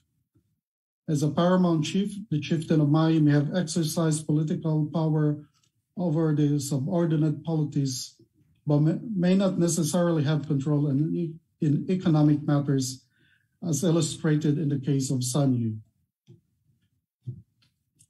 Sailing directly to Sanyu was a way for some Chinese traders to circumvent the chieftain's control over trading. Since Sanyu was politically part of Mai, it would appear that those who traded that those traders who bypassed Mai technically did not violate the imperial regulations for Chinese merchants to remain in their registered ports of call abroad. Mai's monopoly in maritime trade finally ended during the Yuan period due to the lifting of the regulations that limited the activities of Chinese merchants, which eventually enabled them to explore more faraway places without the fear of being penalized. One best example is Sulu. In Zhu pearl was recorded as one of the products of Mai. However, in Dawei these items disappeared from their inventory. Instead, pearls were listed as an item of Sulu. Seemingly, the Chinese traders bypassed Mai and went, went straight to Sulu, where they traded their products with pearl. So the next section is uh, Pishaye and the maritime raids. During the Song period, an ethnic group unknown to the Chinese appeared suddenly in the coastal villages of Quanzhou and devastated them. Zhao Rugua, in his book Zhu identifies this group as the Pishaye and provides the following information. Their language is incompre- incomprehensible to the Chinese.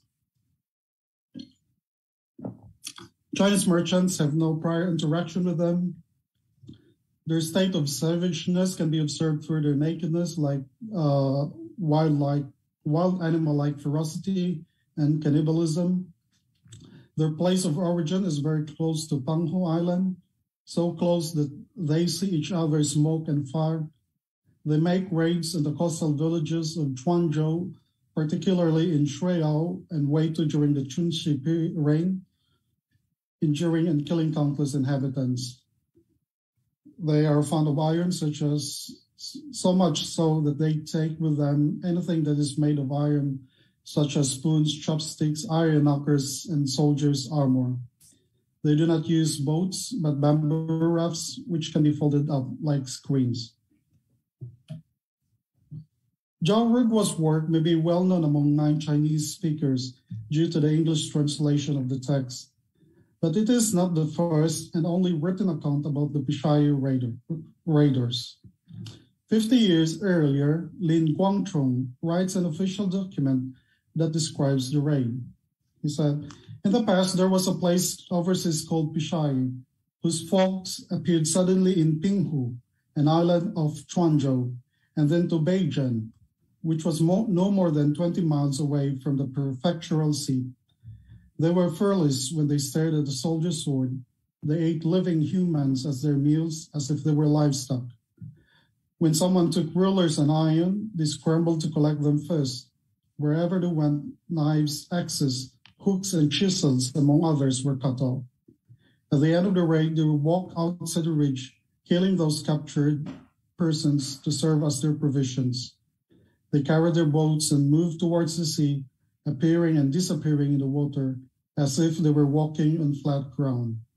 In the neighboring areas of Chaozhou and Huizhou, no one was able to fend them off. These people were nevertheless unpredictable. At first, no one knew where they took refuge, but they still have the tendency to harm other people. A few commonalities and differences can be observed when the two accounts are compared. Both accounts describes the savageness of the Pishaya people and the fondness of iron. However, they differ regarding the time and place of the raids and the sea vessels the group used. Whereas Zhao Rugua identifies a couple of coastal villages in Quanzhou as the sites of the maritime raid, the account of Lin Guangchong details the stretch of devastation caused by the Pishaya raiders, which extends from Penghu Island near Taiwan to Beijing in the Fujian province and farther to Chaozhou in eastern Guangdong and Huizhou in the Pearls River Delta. Moreover, Zhufan Zhi fixed the time of the raid during the Chunxi period, but the raid Lin Guangcheng described could have occurred in Qiandao era, which was in 1165 to 1173. Finally, Zhufan Zhi explicitly mentions bamboo raft, while Lin identifies Zhou as their mode of transport and records an imagery on how a boat was carried from the shore to the sea.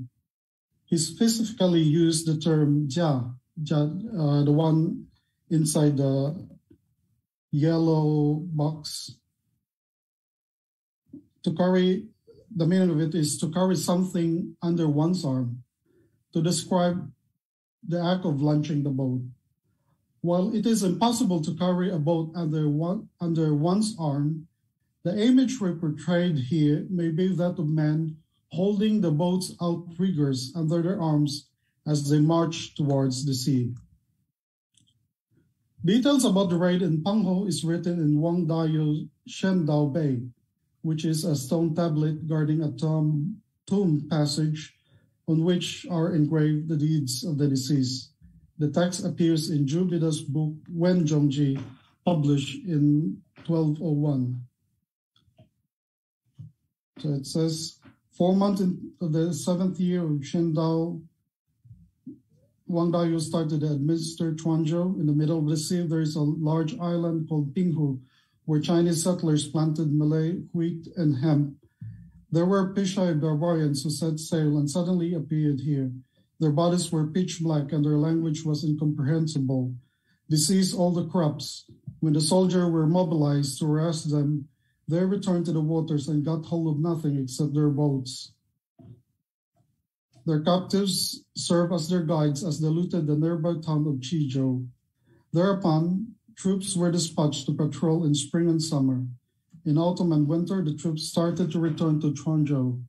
The efforts and expenses was, were enormous, so the official Wang Dayu visited this place and built a district of 200 houses. The navy was stationed there, so the barbarians did not return. Zhou's use of the character Joe, the one inside the red circle, and the expression yang fan inside this uh, yellow circle, which means to hoist the sail, indicate that the Pishaya people arrived in Penghu using boats with a sail. Furthermore, until the construction of a permanent base for Chinese troops was made, their deployment was only seasonal, that is during autumn and summer, indicating that attacks were made during those seasons. The incident in Penghu also appears in the short biography of Wang Dayu that is included in Lo Ye's book Go, Gongkuiji. So it reads, fourth month of the seventh year of the Qiandao era, Wang Dayu started to administer Quanzhou, arrived in the prefecture. The prefecture is bordering the sea, where in the middle there's a sandy island measuring several tens of thousands of mu called Penghu. As the Pishai Island barbarians suddenly arrive, they seize all the cultivated plants. On another day, they also went up the sea coast to murder and plunder. More than 400 invaders were captured, while their leaders were, well, their leader was eradicated. At the same time, those who remained were scattered through the region. At first, frontier guards were dispatched each, each time the southerly wind was encountered, which was very laborious and inconvenient. As the official Wang reached their land, he built 200 houses, sent a general and troops to be stationed there. There was an officer with a rank uh, who was accustomed to stealing and receiving rewards. All of a sudden, he reported that an invasion had again taken place. He was straightaway arrested and brought to the courtyard. He thought that he had done mer- meritorious deed. The official Wang Dayu said, the appearance of the Pishai is as dark as the laka, that their tattoos are indistinguishable. What makes these people clothing and personal adornments entirely different? Squirtonite, it, as it turned out, the great traders of Cambodia have four boats that have left and two boats that have returned. The two boats being suspected as that of Pishai is a false accusation. The first so-called Lo Ye's account corresponds to Jubida's account. He tells the looting incident and the establishment of permanent troops in Penghu. The expression Mei Yu Nan Feng, the one, the one in the red rectangle, which means each time the southern winds is encountered, in relation to the deployment of soldiers to protect the island, suggests that these raiders were dependent on monsoon winds and arrived in Penghu on a seasonal basis. This certainly agrees with Jubida's account that Chinese troops were intermittently deployed during the spring and summer months. As a follow-up, Lu reported that one official made a false claim that Pishai had encroached their territory, to which Wang Tai reminded the officer that these people have dark skin, so dark that one could no longer distinguish their tattoos. Uh, there's also another document by Jen Tishu, and another document from Chuanju Fuji Xuanlu. Uh, it says on the seventh month the Chenda rain, island Banzes Pishaya pillaged the coastal area. And again, in the eighth year, they once again intruded using seafaring boats. So again, uh, inside that red circle, that's and they attacked the Shreyao. So an outpost was built there. So where is uh? Uh, scholars don't agree where Pishaya is, but the one key to this uh, uh, where Pashaya is, is actually found in the account uh, uh, Zhao account on Liu Chou. And uh, the problem with the classical Chinese is that the original text they don't have uh, they don't have punctuations. So the problem with modern readers is uh, what punctuation do you have to use? So one Chinese scholar said that it should be uh, comma there. So if you read this text, uh, this text is about uh, the traders of Liu Chou. They went to San Yu to bring their products and sell them. And then after the word San Yu, there's a phrase Bam Yu Pishaye. So which means uh, besides it is Pishaye. So if you put a comma there. So the meaning would be San Yu, besides it, so it meaning San Yu is Pishai. But other scholars said that it should be a period after Sanyu. So if you stop after Sanyu and you read Bangyu Pishaye, so it could mean Pishaye, the it means Liucho. So besides Liucho is Pishaye.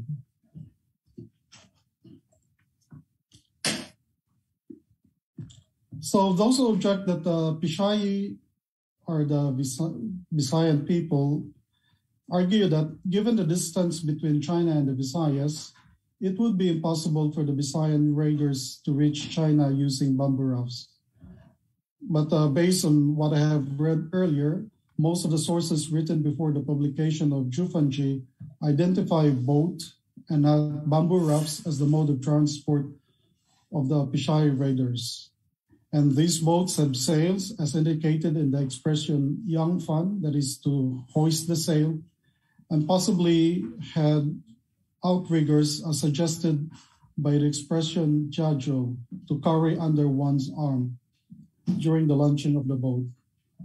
The roads were seasonal as the raiders rely on monsoon winds. And there was also the story of a corrupt officer who made the false claim that the two boats that originally came from Cambodia were said to be Pishai boats. Their boats must have looked the same because the point of distinction was not the boat, but the appearance and the tattoo of the Pishaya people.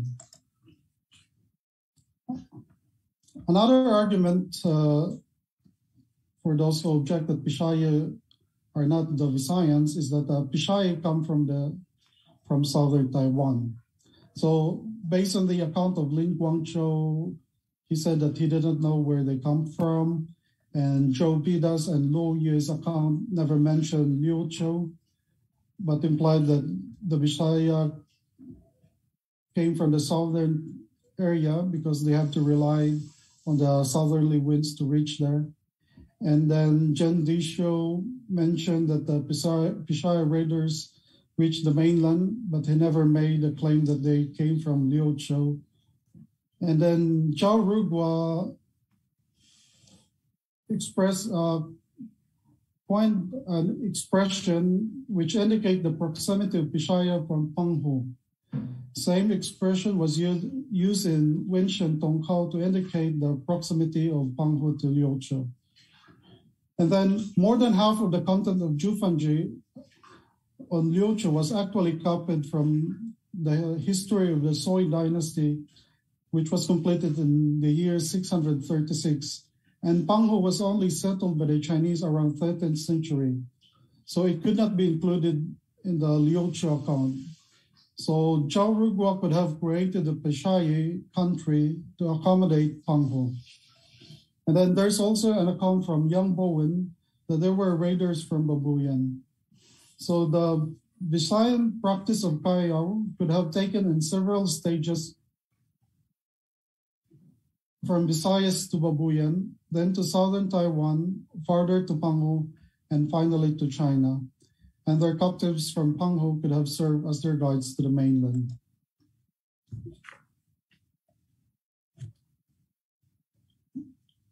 Do, do I still have time? Yes, sir. Oh, so we go to Daoyi Zhilue, and um, so with the lifting of restrictions that limited their activities overseas, China's merchants sailed to all corners of Southeast Asia during the Yuan period, searching for rare animals, precious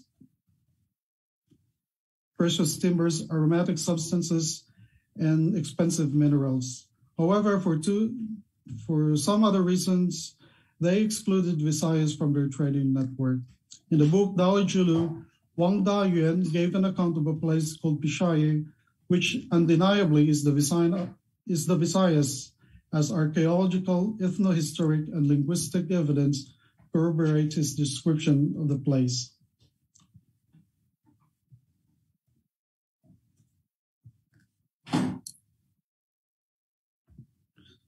So first, Wang may have have the exact location of Bishai in mind when he wrote this phrase, 跟去海动这一个. this has been translated into English as out of the way spot in the Eastern Ocean or a remote land in the Eastern Seas.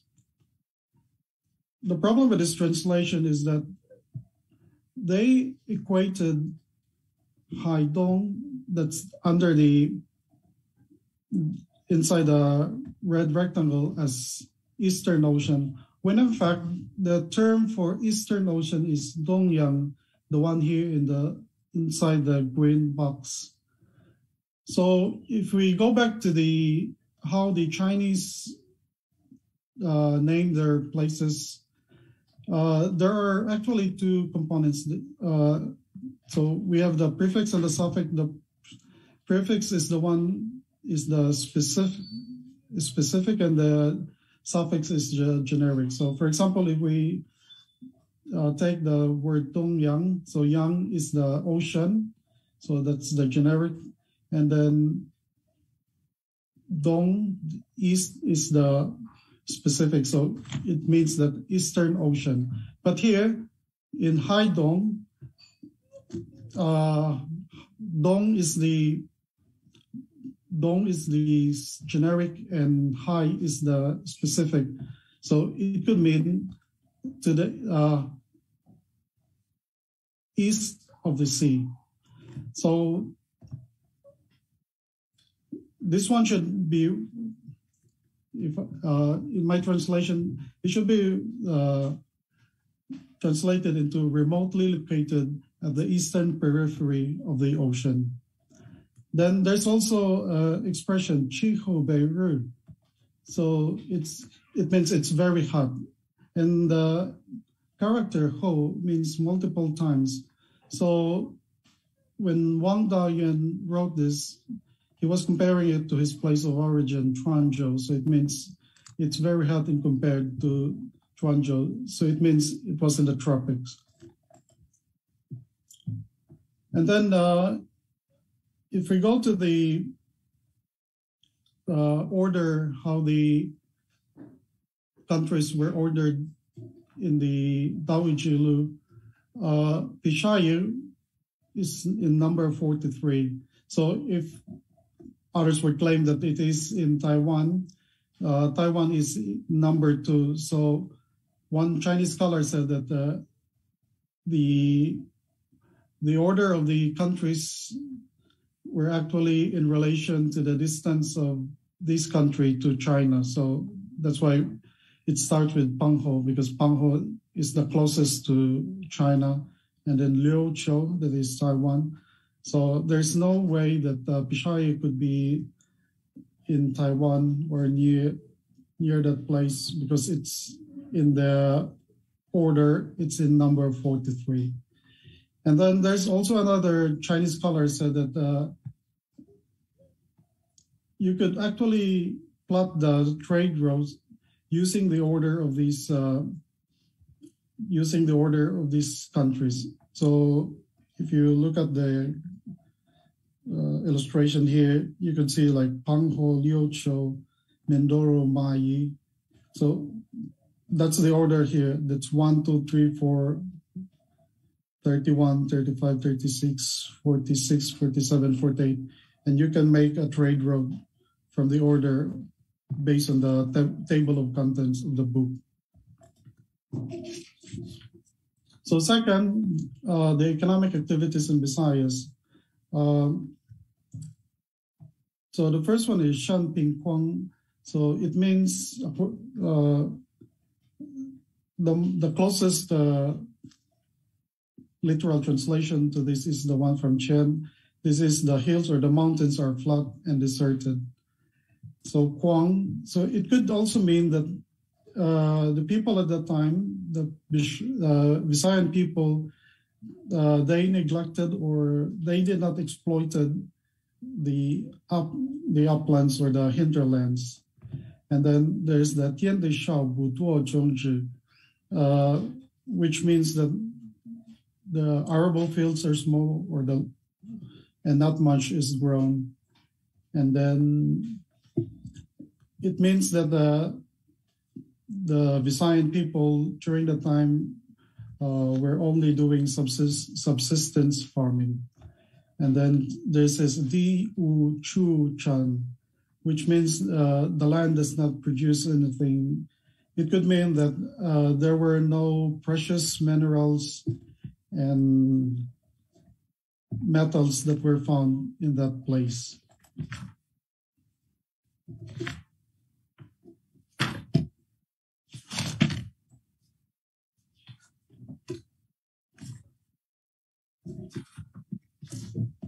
So interesting. Uh, we have here the expression lulu, and um, the meaning of lulu is to take prisoner and to plunder. And uh, actually, maritime maritime raidings was not exclusive of the Visayan people, but uh, in each place that uh, maritime raids happen, uh, Wang Dayuan used different terms, like in Long Yamen, uh, in Singapore, and in Lambri, he used Jialu to take force and plunder, or Kolu in Jangalo, Lu to invade and plunder, and Lulu to take prisoners and plunder.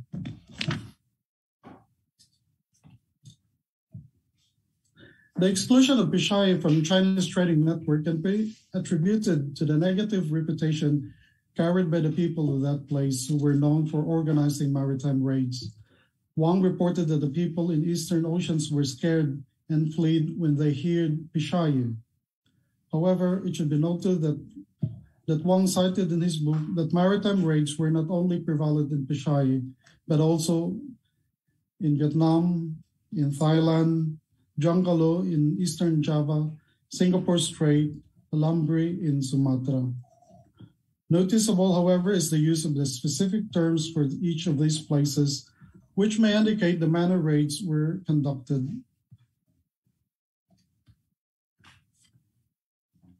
Surprisingly, the meaning Lulu is captured in the indigenous term kayao, which originally denotes an intermittent ventures to places far away from one's own to take slaves and pillage for wealth. However, participants of Kayao were more interested in slaves since the purchase of slaves was an ordinary area for investing surplus, surplus wealth, according to Scott. Kaya was prevalent because the Visayans considered it a socially approved deed and its participants were conferred with social privileges and reserved rewards.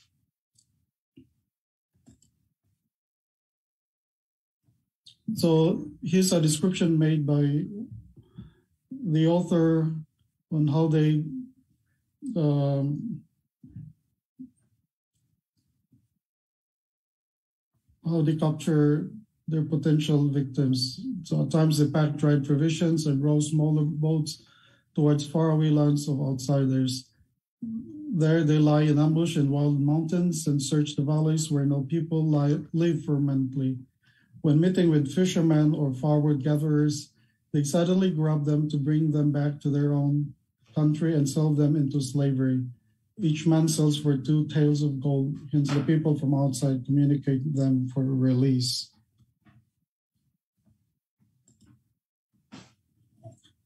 Uh, also in Daoyi Zhilue, the hairstyle was also mentioned. And uh, it's interesting that uh, in the book Daoyi Zhilue, each country's hairstyle was uh, was described, and there were four main or four hairstyles that were described there. So there was the Yaji, the Wanji, the Chuchi, and the Tsuchi. And uh,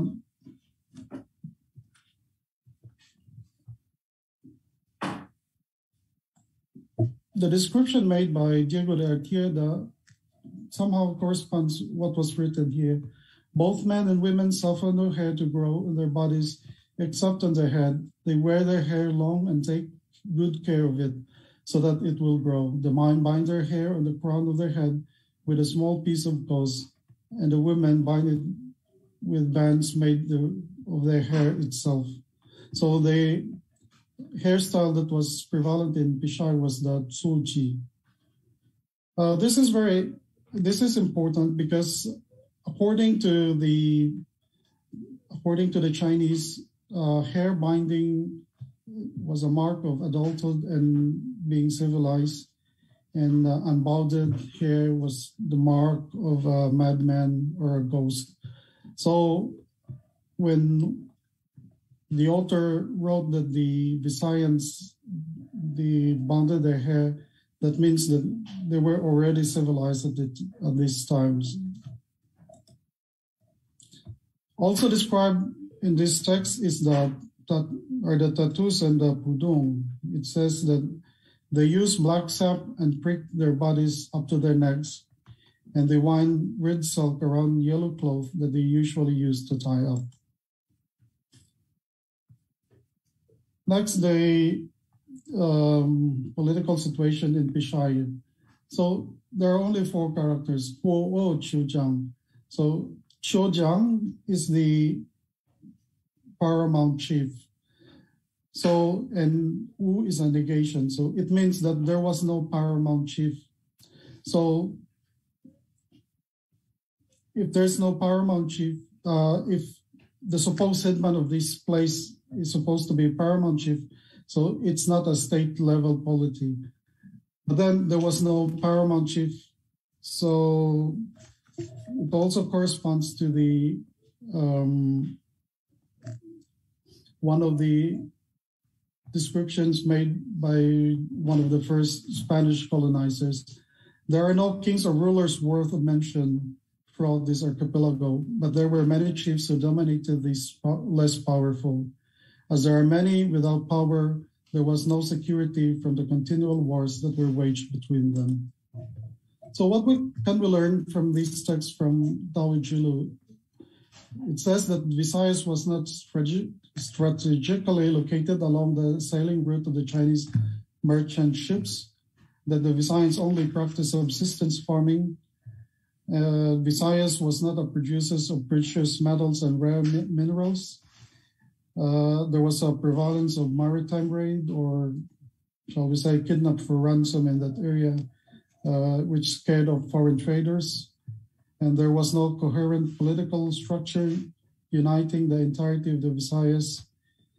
And Visayas suffered from a case of bad reputation. That's why the Chinese merchants did not come to the Visayas.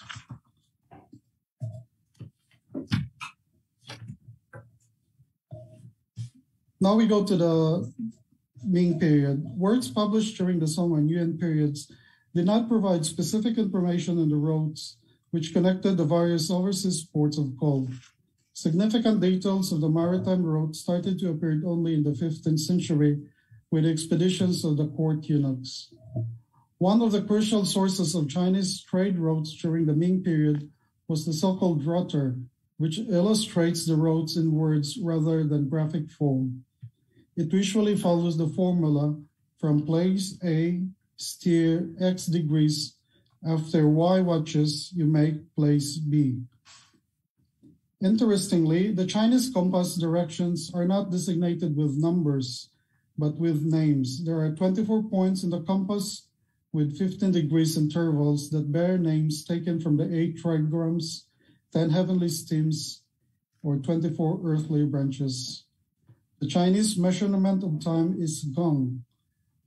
This one, gong, which is equivalent to 2.4 hours. Two known Ming rutters describe various sea roads to the Philippines. Although these books were published in the 17th century, Ptak argued that some elements were already orally transmitted long before they were they appeared in printed forms. So this one is the Dong Xi Yang Kao, and this one is the Eastern Trade Road. This book, published in 1617, was written by Zhang Xie, a scholar who devoted his life to studying geography and history. The author draws his data from the information gathered from seafarers. The more sub substantial part of the book provides historical and geographical notes in various countries. The ninth Juan or chapter describes the sea route from China to various countries. It also includes a manual or navigation theory and practice. Zhang followed the distinction between the Western and Eastern Ocean and elaborated the trunk roads to these two oceans and branches. So, so this was the road in the the one written in the uh, Dongxue. So it starts in Taiwu in China, goes to Penghu, to Kaohsiung, to Aparri, and then to Ilocos, Pangasinan, up to Luzon, which is uh, Manila.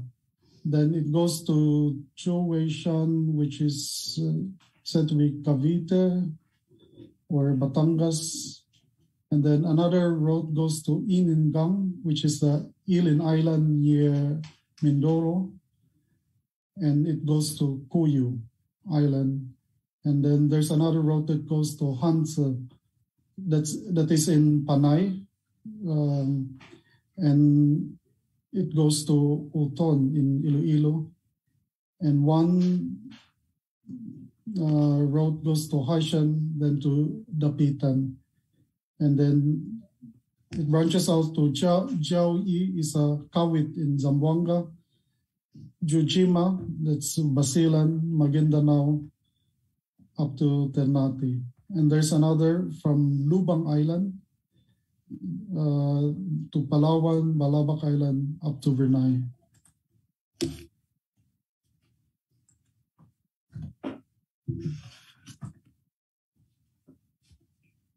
So another book is the Shunfeng Xiangsong, uh, which appear in a, uh, which is kept in the Bodleian Library in Oxford the character Shunfeng Xiangsong, which can be translated into English as May fair wind accompany you, is the Chinese blessings for sailor, but has been designated as the title of the manuscript since it was published in 1961.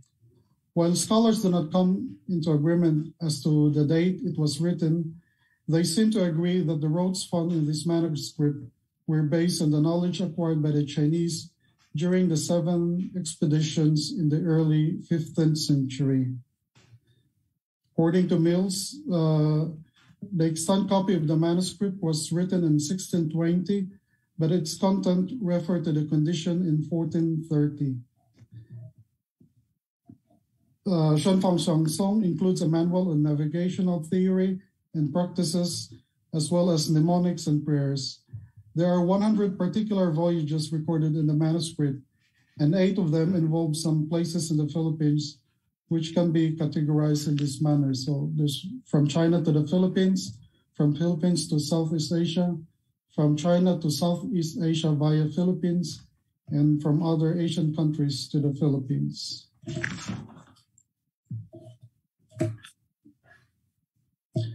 As a destination for Chinese merchants, Cebu only appears in Zhinan Zhengfa, which contains a manual on navigational theory and practice, as well as a detailed instructions of 53 particular voyages. Although the book was published during the Qing period, its contents refer to the conditions before 1607, and the recorded voyages may come from the 1471 to 1588 period. The road from Manila to Cebu in Zhinan Zhengfa only listed the toponyms that sailors passed through on their way to Cebu and their return trip to Manila. Pastor Genesis, sorry to interrupt. You have yeah. five, five minutes to wrap up the presentation. Okay. So what we just discussed is the how the Visayas was excluded from the uh, maritime trade. So now in the inclusion, the, the initial exclusion of the Visayas from the Chinese trade network may have been related to the maritime trades conducted by the Visayans in Penghu Islands and on the coastal towns of the villages of Fujian and Guangdong, which were the provinces that engaged actively in the maritime trade with Southeast Asia. The Chinese people who survived the raids might have suffered deep traumatic experience and their stories reverberated down through the centuries. Even when China no longer faced a direct threat from the Visayan raiders, the Visayans still carried a bad reputation that even hearing their name could cause anxiety to Chinese merchants centuries later.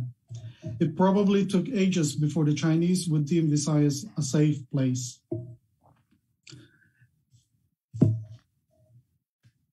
To recall, Chinese merchants stopped in Mai during the Song period, and local traders distributed the foreign goods to other islands. Those who preferred not to deal directly with the chieftain of Mai went to other places but were still within the jurisdiction of Mai. When Mai's monopoly in inter-island trade was finally broken, Chinese merchants sailed to Sulu. However, they bypassed the Visayas for fear of financial loss due to the prevalence of maritime raids in the country. It was also not worth the risk to engage in trading in that area since the settlement there were reportedly unable to produce goods in commercial scale. If Chinese ceramics from the Song and Yuan periods ever reached Cebu, they were probably acquired through inter-island trading or maritime raids. With the ascent of the Ming dynasty, other overseas private trading was prohibited and the flow of goods to and from China was regulated through the tribute system. While major polities of Luzon and Mindanao sent tribute missions to the Ming court, imperial records from this period never mention any polity from the Visayas. Chinese porcelains were possibly acquired through Thailand, given the fact that Shunfeng Xiangsong provides a trade route from Thailand to Manukan in Mindanao. The trade network must have already been extended to the Visayas by the arrival of the Magellan expedition, since Antonio Pigafetta recorded that a Siamese chunk disembarked in Cebu for four days before their arrival. Carl Eugen Guthe, the head of the Mitchell expedition, also observes a connection between Mindanao and Visayas with regard to trade with China. The general impression gained from the geographical distribution of the material and the specimen themselves is that the early Chinese commerce appears to have centered about a line drawn in a northeasterly direction along the western coast of Mindanao through the central Visayas towards the southern tip of Luzon.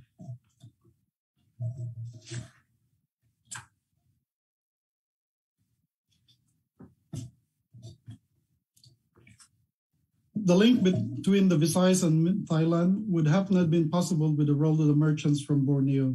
Historian Manel Ollé said that early Spanish accounts points that it was the Bornean merchants who initially brought Visayan products to Thailand, primarily sigay shells, which was used as currency in that country. Although the Visayas did not trade it directly with the merchants from China, it is possible that they engaged with Chinese based overseas. Sinologist uh, Papelitzky argues that the fact that a trade route between Thailand and the Philippines appeared in a Chinese source indicate that there must be Chinese involved in that network. And what attracted Chinese traders to Cebu, particularly during the Ming Dynasty, were its products, which were Cebu cow, cotton, and seaweeds. To end, the devastation in China caused by the maritime raiders from the Visayas had influenced the Chinese attitude towards the Visayas. Chinese merchants had avoided the central part of the Philippines for a long time. The process of inclusion of the Visayas into the Chinese trade network may have not been initiated by the Chinese traders from the mainland, but the Chinese diaspora in Southeast. Archaeologist Masao Nishimura proposes that Cebu, which is part of the Visayas, maintained multiple trade partners who took different trade routes. Interestingly, Thailand and Borneo had played a role in connecting the Visayas into the maritime Silk Road. Visayas acquired Chinese commodities through the western road via Thailand and through the eastern road via Borneo. The dynamics may have changed with the arrival of the Spaniards However, this is beyond the scope of this paper. Thank you. Thank you very much, uh, Sir Genesis. I'm sure I'm not the only one who is very much impressed by your presentation with all the primary uh, data that you were able to actually analyze and put into um, uh, your presentation. Uh, and we already have a question here for you. Are you ready for your Q&A? Yeah, thank yes. Thank you very much for that very interesting uh, um, presentation. So this is from an anonymous attendee. I read somewhere that there is an argument about Fischeye that a lot of them were white because one of them wrote Bai or white in his text. What's your opinion about this, Sir Genesis?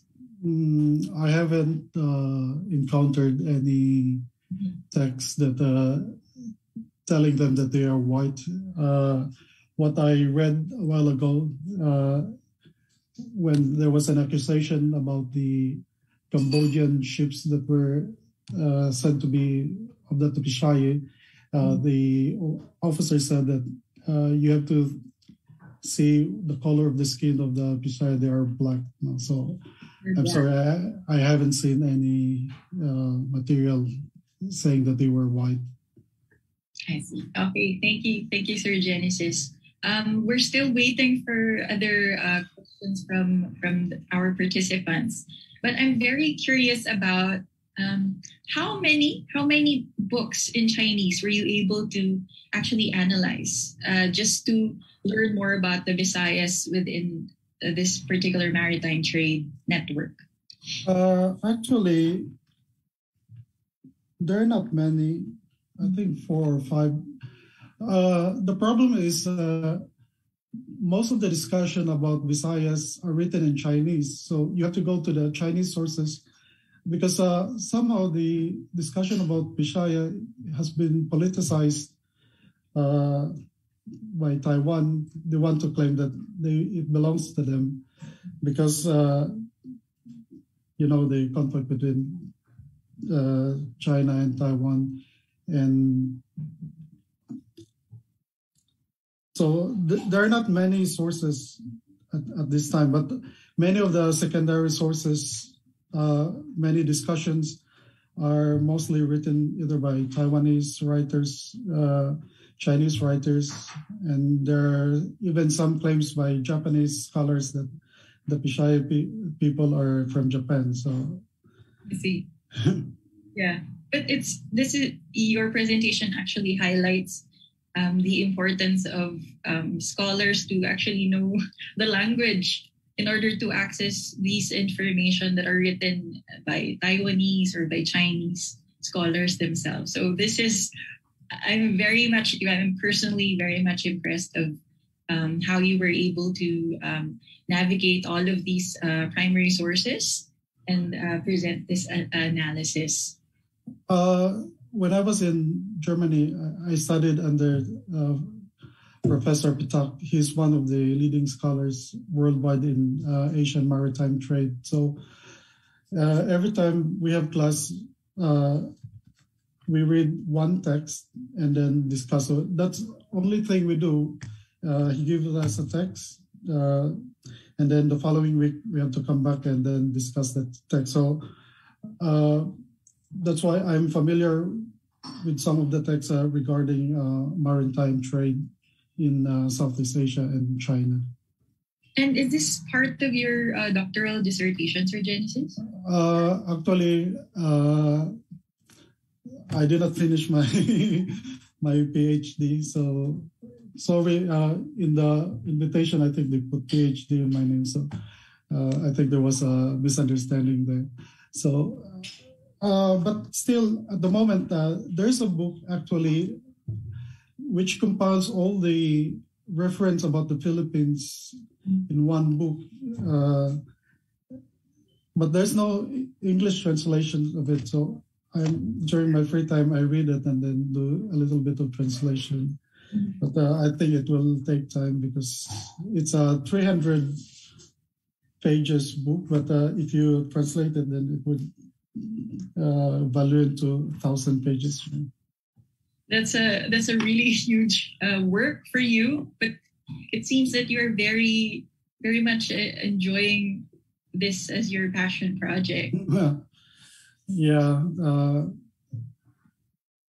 sort of a personal project because uh, I'm no longer in the acad- academy. So during my free time, because uh, if I don't do this, then I will lose my ability to read Yeah. uh, the Chinese. So as much as possible, uh, I do something that uh, would make me get in touch with the Chinese.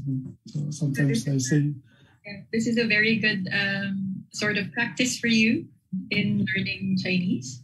yeah, because I, I'm still I'm still learning, because uh, it's it's very it's a difficult language, especially if you go to the classical Chinese, because the grammar is totally different from the from Mandarin Chinese and uh,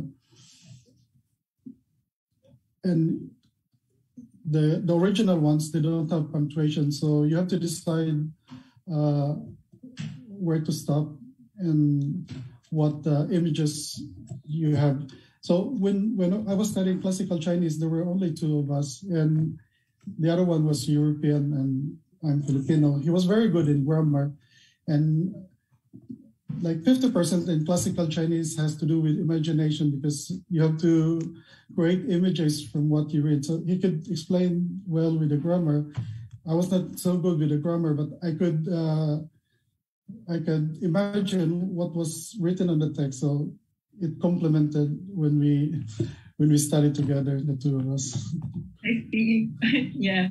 All right. Um, Sir Jobers is actually um, asking when will your book be published? uh, Looking forward to it. are you going Are you going to publish this, Jobers? Very soon? Kanu shadows. I don't know. I'm I'm still uh, still working on it. well, I think all of us will be very much uh, looking forward to it, Sir Genesis. Um, I think we have another question for you, sir, um, from an anonymous attendee. Do you think Zhufan Zhi has an accurate hermeneutical analysis of the culture of Filipino people during the pre-colonial period? Uh, we have to understand that uh, those uh, scholars, they were bureaucrat scholars. So uh, during the imperial period of China, uh, you cannot enter into the bureaucracy unless you pass the civil civil service exam, and the civil service exam was about the Chinese classics. It's so you have to learn about the cla- classics, Confucius, and that's why most of the bureaucrat scholars they have a Confucian uh, point of view. So, so they describe those outside of China as the barbarians. So from the distinct, there there is already a distinction between Chinese and barbarians. So, uh, and their description is always like uh, China centric. So they are more superior, morally, intellectually compared to those barbarians. So you have when you read these uh, books, you have to read it that. That the that they are more superior.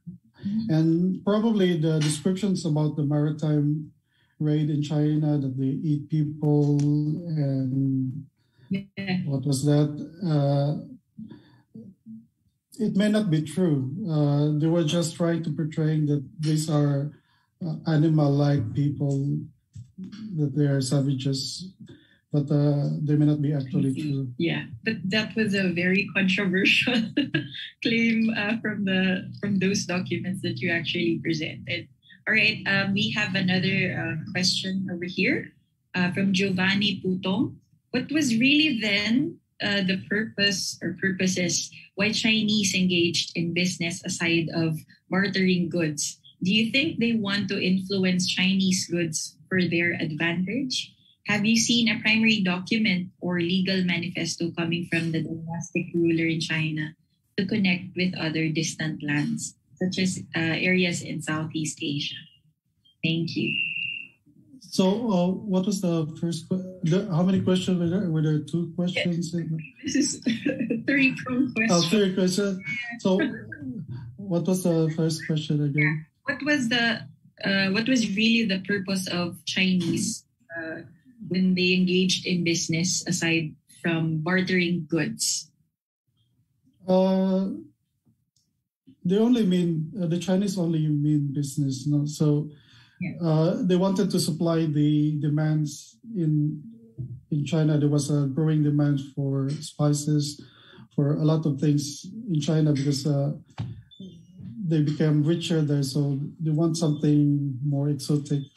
So that's why, Uh, and as I mentioned in the first part, the imperial government they allowed Chinese to go and and buy foreign products and bring it to China, which was not possible earlier because they have to rely on the tribute system. So the tribute system is that foreign merchants come to China, they off, they offer something to the they offer something to the to the emperor and the rest they sell it to the market. So if you under the tribute system, so China just wait until uh, some products would come to China. So if no, for example, no pepper would come to China, then they have to wait for another year until pepper would come to China. But this time, when the Song Dynasty allowed um, allowed the Chinese merchants to go abroad, so they can have pepper the whole year round because they have steady supply of uh, pepper, for example. So the second question, what was that? Um, I think uh, Giovanni is asking, did they do this sort of uh, like business to influence like other people to their advantage? No, I don't think so that they use this for their advantage. Mhm. All right. Um, and the third question is Have you seen primary documents or legal manifesto coming from the dynastical ruler in China to connect with other distant land? Like, Oh, there, there are plenty. hmm, Uh, and before, um, uh, once uh, a century ago, most of the uh, most of the documents were translated by Western scholars. But now the Chinese themselves they are producing more and more about these uh, trade net- networks. Uh, I think three years ago there was a three band uh, books just uh, about the trade routes, which I'm trying to acquire, but I haven't got it yet. So there, there are a lot of there are a lot of uh, books and a lot of conferences about uh, trading networks with China. All right. I hope, Giovanni, uh, that answer your questions, your three questions. And um, I think that's uh, the last question for you, user Genesis. Okay. Yeah, from the Q&A. All right. Thank yeah, you thank you very much. Hope you were not bored of uh, my present. for very much um, enlightened and very um, interested to learn more and read more about your work on these Yeah. uh, Chinese documents. So we hope you'll be able to have more free time and Yeah. your uh, translation work. Yes. Thank you very much, Sir Genesis. Um, Thank, and that ends our um, morning session, uh, panel A, with Dr. John Allen Peterson and Sir Genesis Velez. Thank you very much for your presentations, and we hope that all of you who attended this morning's uh, panel would be able to join us once again in the afternoon with Dr. Jobers Reyes Bersales and Dr. Ju- uh, Earl Jude Cleope. So they will be um, we will be back on uh, in the afternoon at 1 p.m. So you can stay in the Zoom perhaps uh, because I think uh, we will be still using the same link. So if you want to stick around, you can uh, stay here or you might want to uh, log out and enjoy your lunch uh, for before the the panel in the afternoon. So thank you very much, and we hope to see you once again later this afternoon.